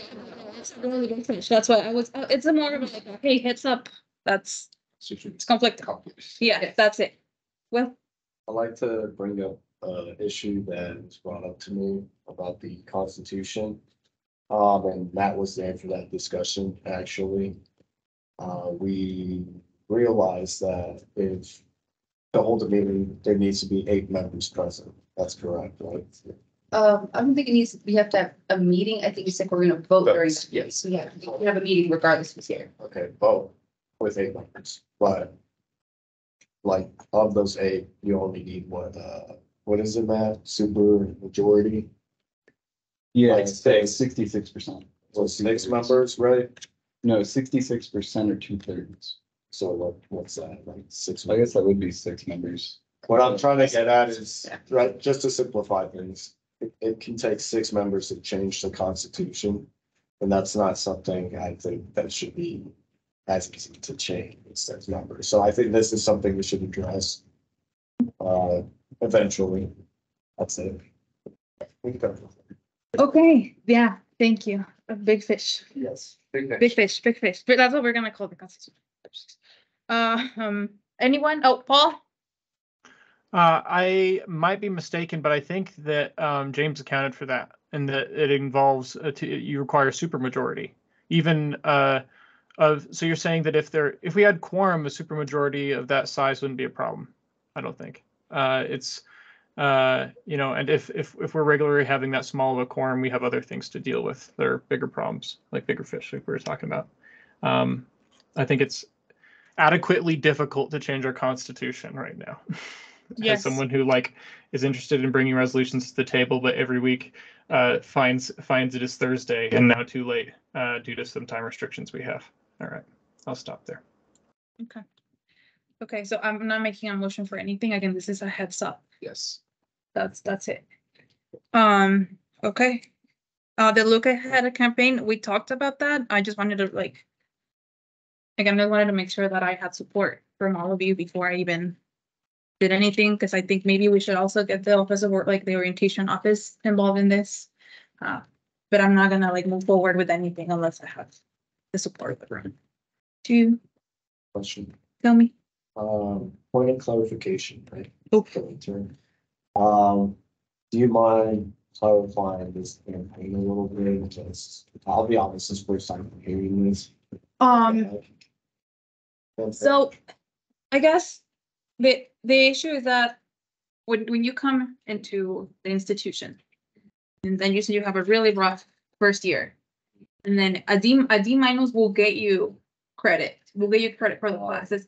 But once you go into your upper division classes, most of them require a C or more to require. So we tend to not think about prerequisites until we're about to register for those classes. So what I'm, what I'm proposing or what I'm trying to get some structure for, it's a campaign that is like directed to freshmen and sophomores. So they know that they should at least like aim for a C plus because once they get to junior or senior year, it's gonna be tough for them to find out that they cannot register for those classes. So bring awareness. Yeah, that, that, that's all, just an awareness campaign. Okay. And this is a student affairs initiative, right? This just came from Will, is that right? Uh, no, this is me. This is me, because I was at the faculty senate meeting, and they were talking about like the, the, that issue. Um, they're still discussing at next meeting, and I will bring more details into it. But just from like a student perspective, I know that I didn't think about prerequisites until I was registered. And that's why we're here for the students. Okay. I have also clarification to your point. Um, we shouldn't just campaign it to sophomores and freshmen. We should also do it to juniors and seniors because I thought that as since a D was passing, I wouldn't have to retake a class and that actually prevented me from graduation last semester. And it's also dependent upon the, uh, the department that you're graduating from. But they'd also don't express to you that, yeah, okay, you may have passed, you get your degree, cool, but now when you go to take the next class, they needed that as a prerequisite in a different institution because we don't have a lot of graduate school options here. That most likely students have to either go to CU Denver or out of state. And those people or those classes may not accept you into their class if you do not have a C or better.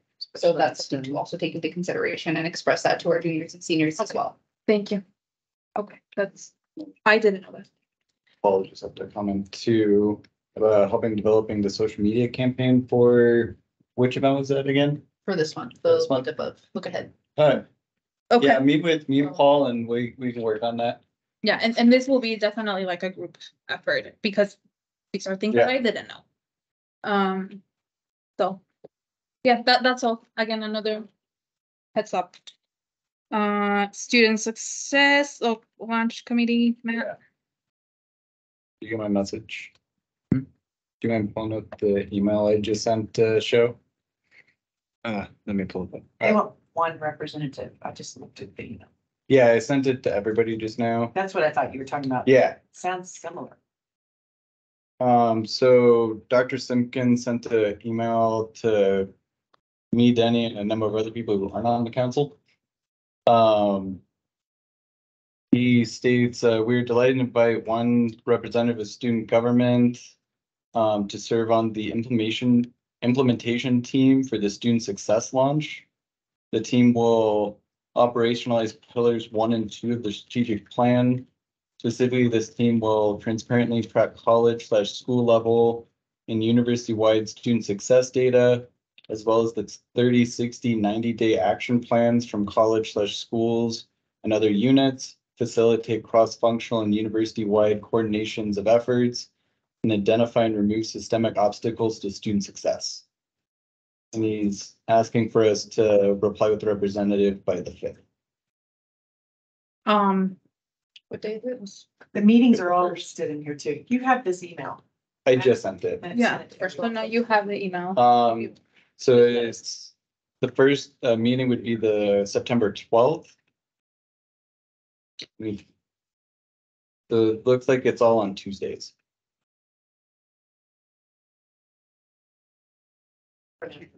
Yes, it means Tuesdays. That's my Oh, Tuesday. there's a couple Wednesdays in like two, starting in October.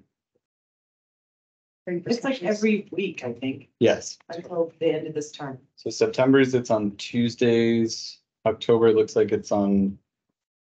Wait, no, it looks like it's all on Tuesday, sorry. It's all on Tuesdays. Yeah, just ran different times. Yeah, Yeah. different times of Tuesdays.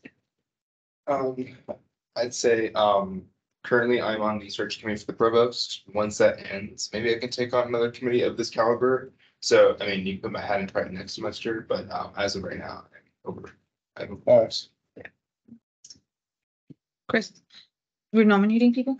I don't know. I mean, Do- just do- thinking people who want to. I, I think I, I feel like we should give people some time to look at this very complex schedule.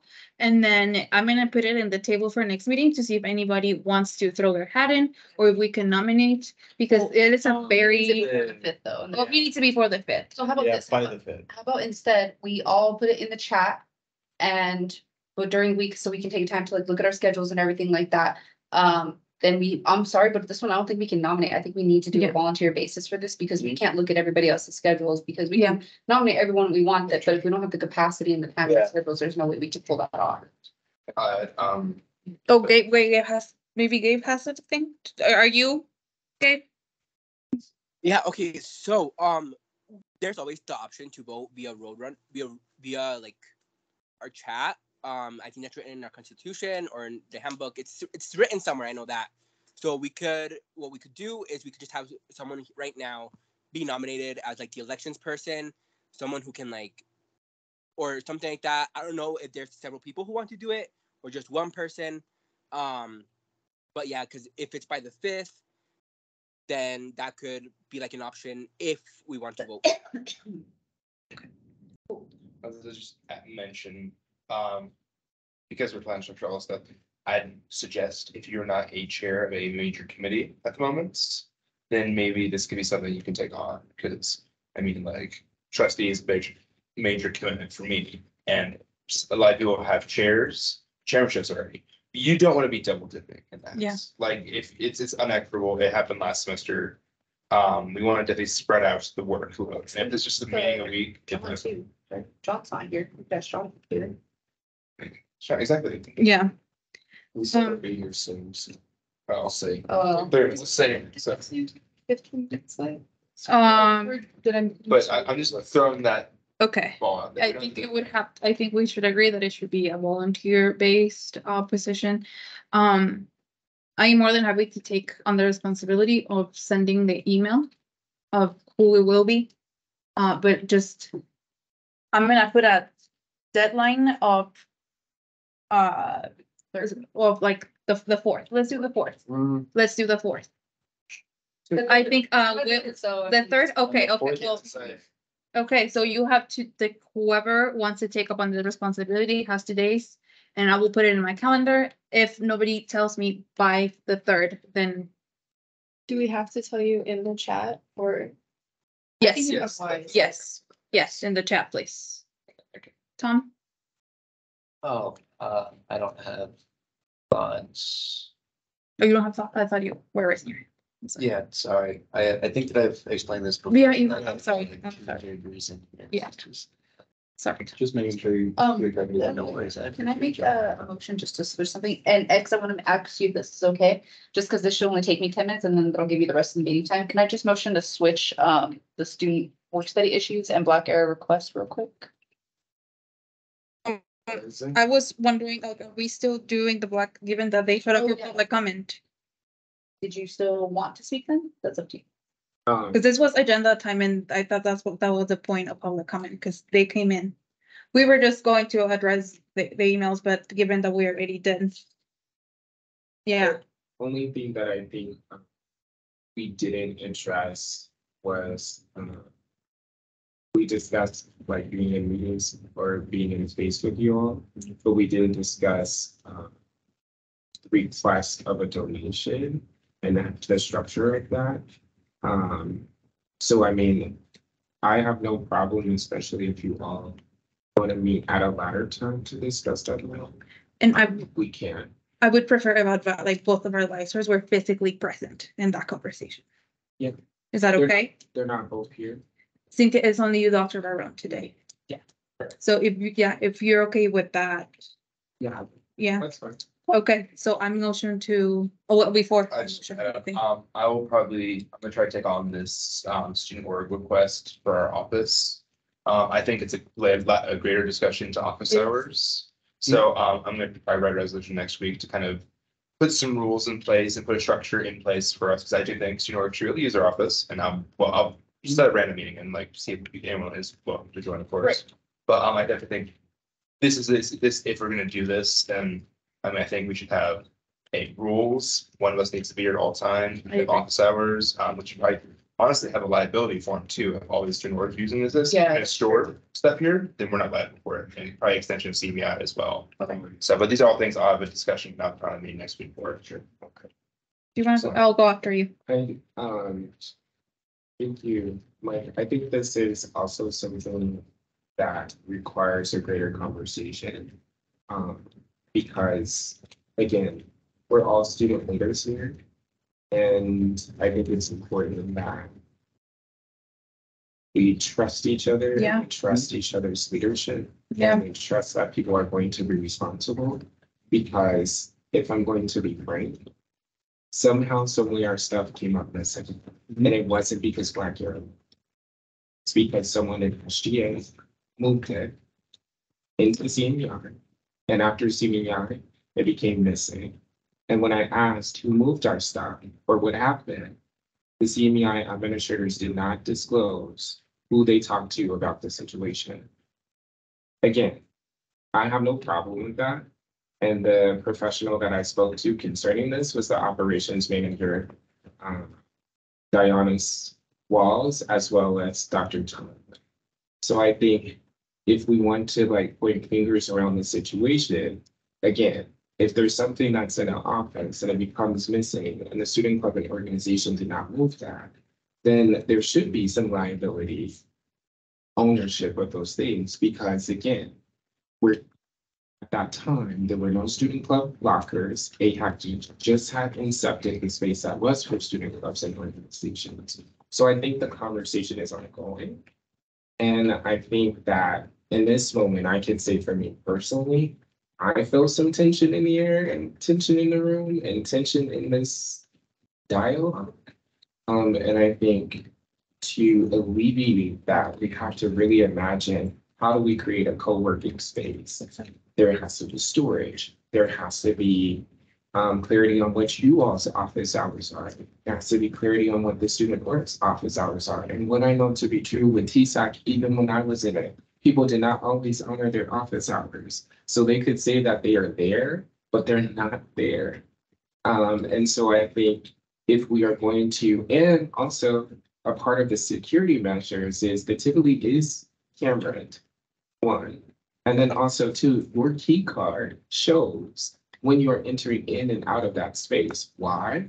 When the TSAC office was being, was ransacked by the former SGA president, when we were changing from TSAC, um, when the referendum was coming up, um, at the time, President Braden, um, words, words, ended up putting all, all kind of stuff in there saying vote against the referendum. And we were able to identify that because one, it was his handwriting, but two, it was also his key card punch that we were able to pull because we didn't know at that time we were meeting in a virtual setting. But I say all of that to say, we should trust the processes that we have, especially if they are in place. But I think this is a greater conversation with student clubs and organizations. Yeah. And saying, some may want to use this space, some may not want to use this space. So what does that look like? But I think at least extending the invitation for those who are actively registered to participate in this imagining will help alleviate some of the burden from you all. And there's strength in numbers. So that's my recommendation. At the end of the day,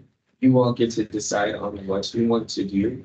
But I can say, having worked with my colleagues in the past, if you're here, you're brilliant. You know what I mean? Not just in TSAC, but if you're here in college, you're brilliant. You're smart, you're adults. I trust your judgment. And if there's something that we don't agree on, we can figure that out. But I think not more is the merrier, but I think at least extending an invitation to for dialogue, you're covering your butts. Uh, And that would be my little nugget.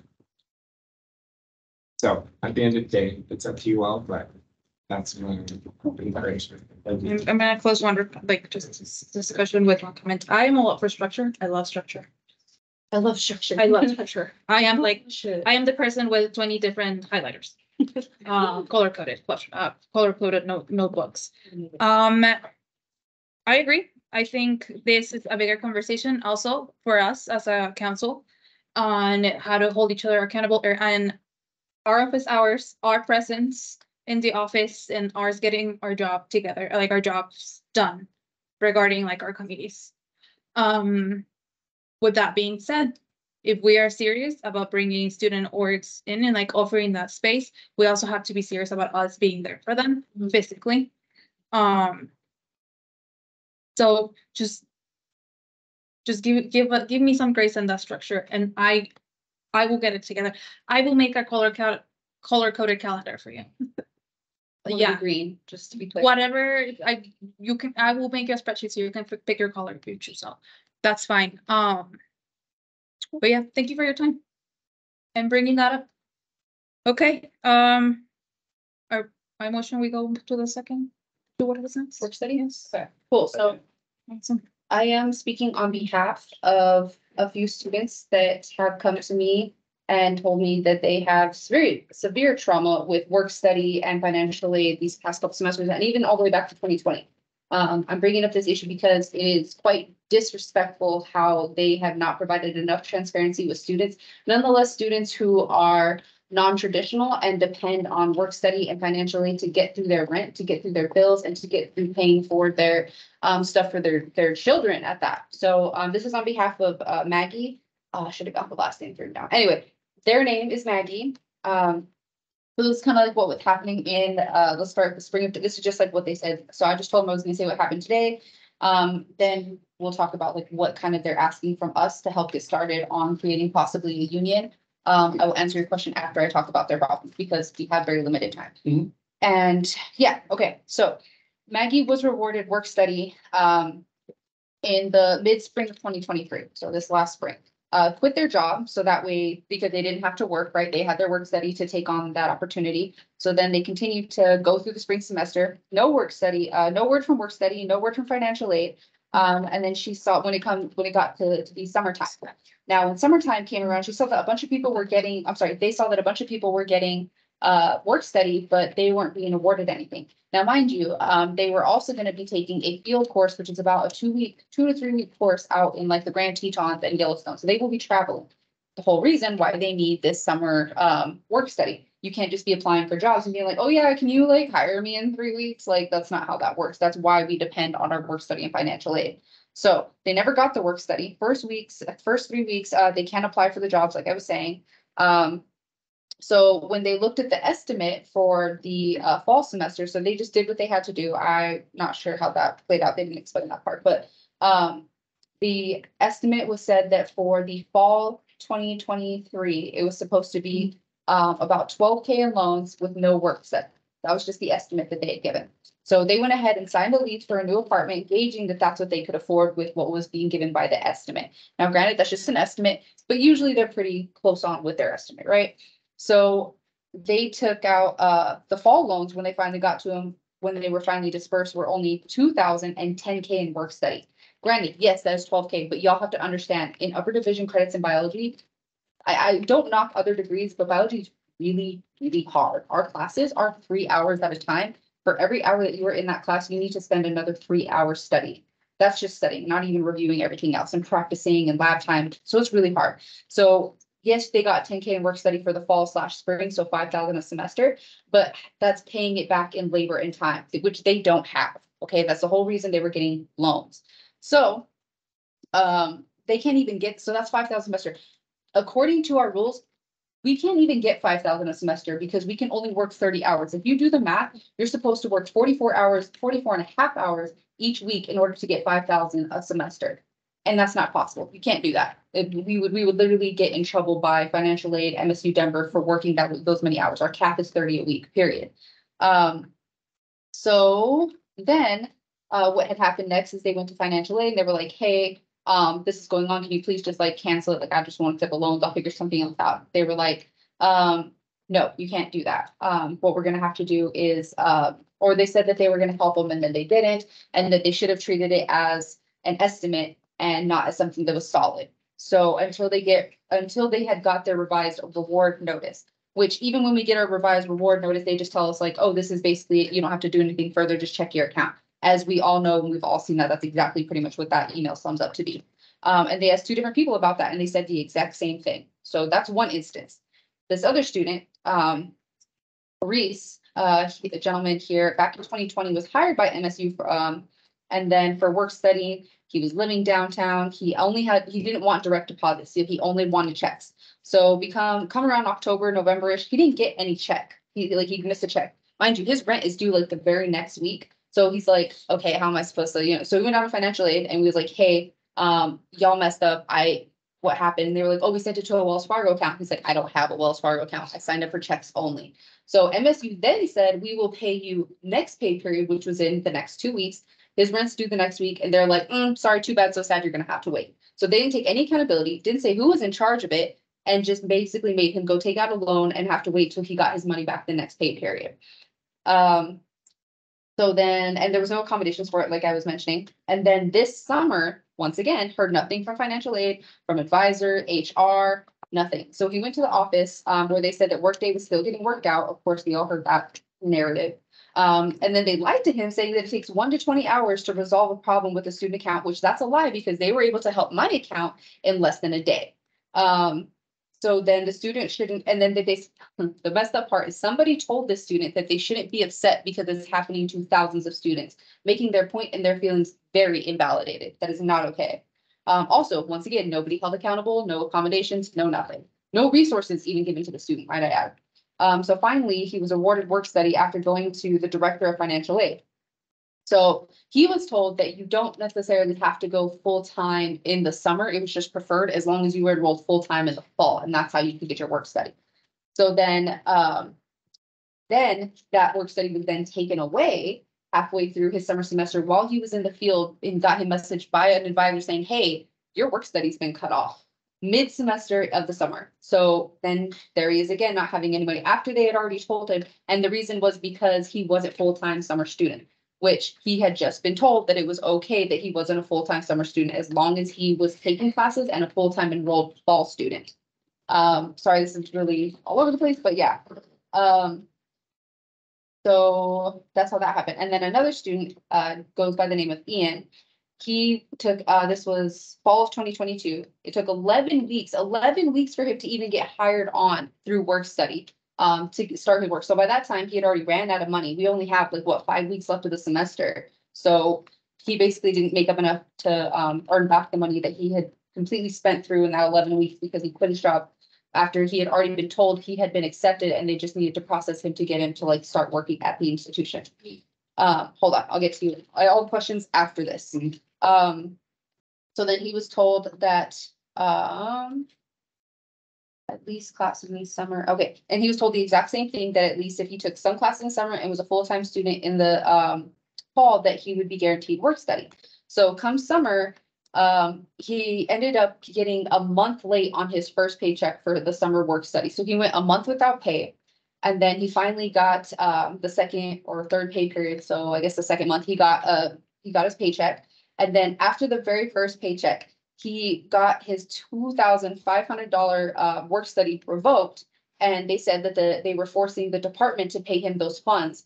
And they can't do that. Department doesn't have those kind of funds to pay their students that way. That's why this is on work study. Or if it comes from a scholarship, um, it's supposed to be considered, uh, like basically grant funds or something. It's a different pot of money, basically, but it's not supposed to come from the department. So they said that they forced the department to do that, but the upper department couldn't afford to do that. So my understanding, he still didn't get paid. Um, and they don't understand that like these students in specifically the science biology department, they were working in, um, the, the fuck is it called, where you keep plants, the greenhouse. And that was very important. Like that was basically their, their academics life work right there. Like they spent time growing these species. It doesn't just grow overnight. Like, I don't know if y'all have plants, but like some of them just die. Like you have to really pay attention to them. They had a very specific uh, system in set for their pest control and all that other stuff. The pest got completely out of control because they didn't have enough volunteers to go in there, completely ruined like one professor's probably life's work and then another set of students, like their entire semester's work. So then they have to completely start over. Like they literally work study ruined lives, like actual life. So if y'all vegan, I hope you really out here advocating for this right now.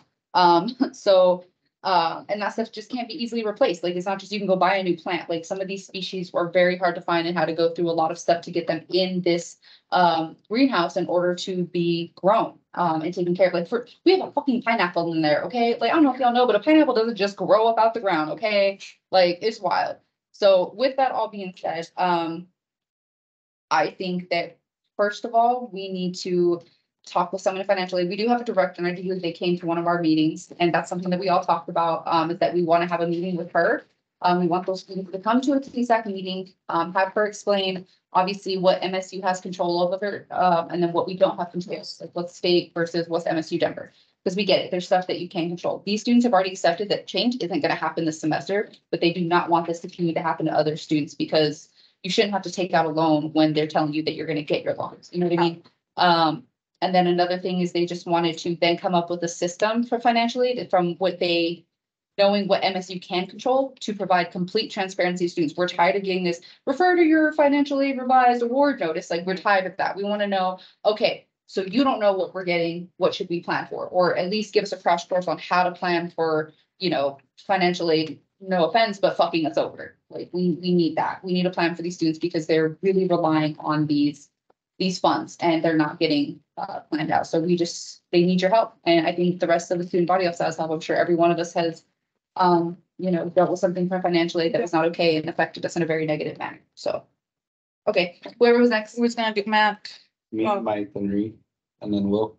I think that because uh Reed hasn't talked very much, I think. I, we have to yeah, we should, that's, yeah, Okay. first. I just wanted to ask, if you don't mind, um, that if we speak to whomever's in charge of work study or financial aid, financial aid at the top of the castle for that, um, that maybe we're able to give them a list and say, we're advocating on behalf of students, that's our job, but we need you to change the system and this is, this is a list of things that are problems. Rather than have the students come here, I think that could be a really elongated Mhm. process and probably wouldn't be very satisfactory to them. But they need to be accountable and they need to give us reasonable answers as well as all these students that are having these problems because there's no Yeah. consistency and there's, it seems random and it's Yeah. about budgetary constraints that no one knows the answer to. So Yeah. Right, and the whole reason why I say they want to come here is because these students want to form a student work union here at MSU Denver.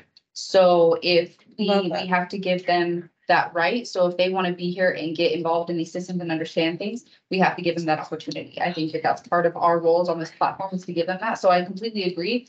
But they do want to be here because they do want to understand these things, and if they can't be here, I will be here and then relay that information, so then they can gather their schedules and stuff, because I think some of them are seniors. So that's like the bigger portion is when you're senior, like getting your life together very last minute. So, um, yeah, I'm trying to, that, that's why I say that they want to meet with them and get some transparency going on, because you're right, it does seem very at random, and this probably affects thousands of students, so, yeah. Uh, Matt? I wanna, I don't have a question, I wanna actually add some stuff to what you're saying. So, also interesting about your student having issues with full-time, on the website, it says you have to take enroll in six credits. Mhm. Um, but also I found out, because my conversations were work study. Um, it sounds like they actually overspent work study money by about eighty thousand last year. Uh, because Banner and Workday weren't communicating. So Banner is where you get your reward Mm-hmm. and Workday is where it tracks your hours. And they weren't communicating, so they actually overspent the budget by about eighty thousand. Um. And also, I think it's a good time to have conversations with them, because it sounded like they might also be trying to modify some of their procedures. Um, and potentially budget aspects. Um, and lastly, I. I think we might need to do a bigger push, but I also did kind of drop the overspending piece with Met Media. Ooh, I go for policy. I agree. Was. And that was over. So we're gonna go. You said We're gonna- Hold on, let him finish their conversation and you guys are good? Mike? Uh, uh, add on, um, we can even go to the boss of the director of financial aid. Simpkins is in charge of financial aid. So if you even want to, I mean, Simpkins has been pretty recipients, or uh, what's the word I'm looking for? Receptive. Receptive to our, um, our, our struggles with financial aid in the past. Um, if you brought this to him, I think he'd be in here next week. Oh, I really feel like you You'd be in here next week, and um, I agree with the meeting. Also, in terms of like students, we can hold a a town hall. We can book the big, the big, uh, the big, Lovely. typically, let's do town hall, have a bunch of tables together, have, or put these people on a stage and have students just ask the questions. I would love that. Yeah. I agree. And I would love that. And then it was Will? Will then Paul. Real quick, I just wanna bring y'all's attention to what I said in the chat, which I think is. Yeah. Important, if you scroll up, up, please. Go further up, right there. Mm-hmm. Yep. Yeah, Yeah. Yep. Yeah, so it, it seems like it's like a bureaucracy issue, so. Yep. yeah. Yes. Because obviously they're not handling their money the way that they should Could you be. go back down? Yeah. You. Okay, am I okay to, I'm gonna, I'm gonna pitch in Paul. Paul,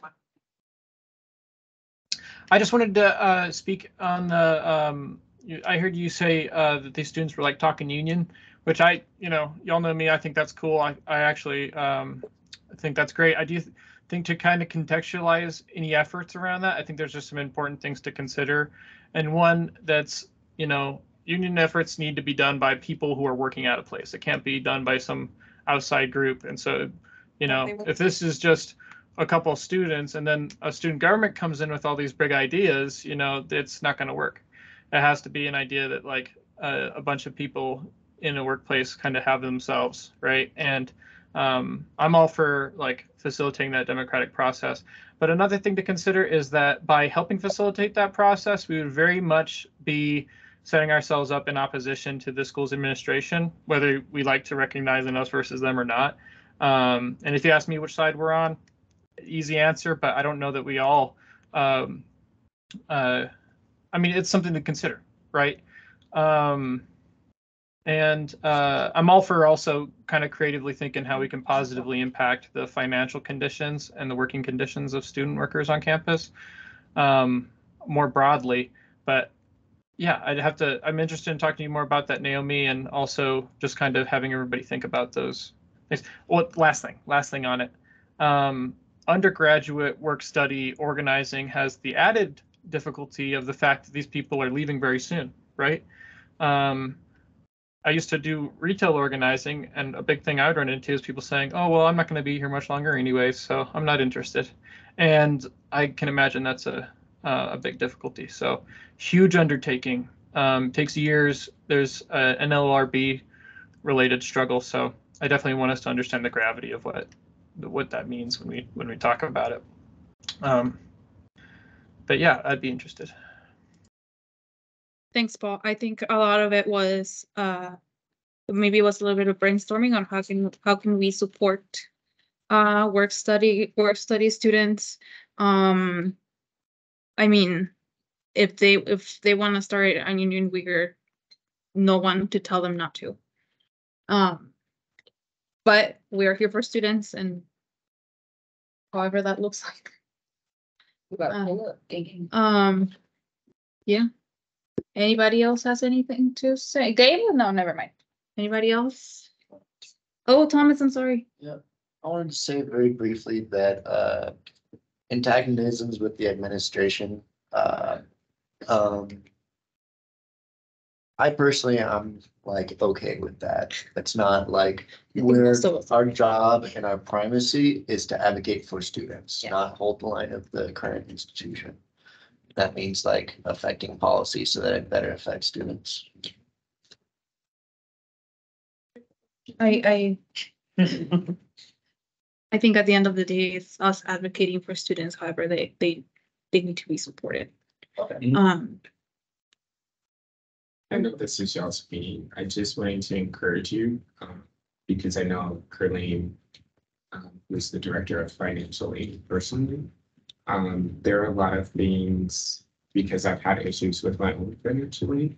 Um, but there are things that are outside of Curling's control. Yeah. That is an institutional thing mhm. um, that she walked into because she's, I think she's been here almost a year now, I may be mistaken. So she inherited a lot of dysfunction right, from the institution prior. And then I also wanted to also share that I think it's important when we are critiquing the administration to know who does what or what falls Right. in whose domain. And that's why I mentioned that at the beginning as well. yeah, right, and then that's what, So that it doesn't get completed mhm, to a person because, um, and I- I'm gonna say this piece and then I'm going to leave it. Perfect example is we had a provost, he wasn't here very long, the faculty workload, uh, request to change how many classes faculty had to teach did not pass through our board of trustees. And he left as a result of that um, because of the political aspect. If Dr. Davidson didn't support it and you, she's the first in command and he's the second in command and the thing, the optics. So I want to stress to you all the political optics, but then also to how those political optics creates further marginalization depending on the identities of the individuals. And so I think it's Yes, tread carefully, but also understand this is someone's livelihood, this is someone's career. And depending on their salient identities, how you show up impacts and implicates them differently. yeah, Um, and so I don't feel it's necessarily to important to disclose the ethnicity of Curling, but I can say that just be mindful of where the engagement is. right, The engagement is around how do we retain our students, which is a student affairs and the university thing. How we raise money, um, an endowment and foundation thing, what the state gives us or doesn't give us. And then also too, based upon when our students complete their FAFSA, if you're not completing your FAFSA quick, you got can get package tax quick. So there's, there's all the, the devil's in the details. So Right. I think it's, it's partly a us thing if we're not doing our FAFSAs and doing our part and depending on what we're putting in our FAFSA, that's a part of it. Are we applying for scholarships, X, Y, Z? It determines kind of like how our packaging is. But I would definitely encourage you all, based upon what I've heard, call Curleen in so you can hear from her first. And then based upon what you hear, if there's still more, then I would take it up the ladder. That would be my recommendation. So on response to that, I have spoke with her last semester, um, and we were both kind of vibing on like that. That motion that like, she walked into a fucking shit show, to put it very simply. And it's a really big mixture of problems between. There's not enough cross training within the JSSB building of admission, the registrars and people understanding how to tell students like what they're doing wrong, what they're doing right, how to proceed forward, things like that. So I, like I said, we need to have a discussion of what MSU can control, what MSU can't we need to start with them, bring in Simpkins and uh Curly, right? And uh just let them kind of like guide a conversation and then talk about maybe getting a panel so students can ask for transparency, not necessarily for change, but for transparency. And then once we get the transparent part out of the way, then they can maybe look into the holes of where we can do better and help the institution advocate for a better system to help these students. I think that is like our best go to when it comes to it. So I can reach out to Simpkins and Curling and see if they'd be willing to come to our meeting. If not this week, then maybe next week as well. We can just put aside like maybe twenty minutes for them to have a conversation with us. Y'all are interested? I, I agree, but just like we have talked about like historical context within other entities and other people, I think. Um, bureaucracy is complicated and, Mhm. and it's complex. Um, so before we start calling people in, I think like this is a bigger conversation with the rest of us to see like how we're going to approach these people. Yeah. Well, Uh, that's the thing though, is that like, we need to talk to them about how to approach our students, and Okay. that's on them, so I'm not gonna approach them like, hey, like. You fucked up, like, no, I'm just asking me like, hey, please, I would like to have a meeting about how, you know, fi- how it works, how does financial aid work? How does financial aid work, how does the money flow come in, like, can you just explain to us the system, and that's it. I don't wanna express like, you know, the students' problems and stuff yet with them, I want to express, just, we need to know how the systems work, and then we could start deciding what kind of questions we can Then- ask them. Then I propose that, like, you see, that you seem very invested in this, I propose that by next meeting, you bring uh like a structure of like, this is what I'm going to do, and this is how we're going to do it, and then we, we vote. I, That's a bill. no, No, no, no, it's not a bill, it's just like that we're all on board on how this is being. well, no, that's what I'm gonna do, I'm gonna reach out to, whether you guys like it or not, I'm reaching out to Simpkins and Curling because I'm doing this on behalf of students. Mhm. And I'm Okay. going to talk to them and be like, hey, can you come to a TSAC meeting and explain to us how the system works, as simple as that. No ethnicities, no genders, no nothing involved, just come and explain how the system works, period. That's all it comes down to. I want them to explain how the money comes in and out. It has nothing to do with individualized people. I want to know how the system works and then that's it. Then we can devise our questions from there. Because if we don't know how the system works, how are we supposed to come up with questions? Okay, they'll reach out to Simpkins and let us know when he want, like, if he's available, and we'll bring him up. And curling as well. And Uh, uh, we are out of time, can we please table this for next week, Paul? Uh, yeah, I just wanted to make a motion that we adjourn. Uh, we, Yeah, I'm not thank gonna you. make people I stay. appreciate. Well, all right, I'll, All in favor? Uh, gosh. I was gonna tell you for the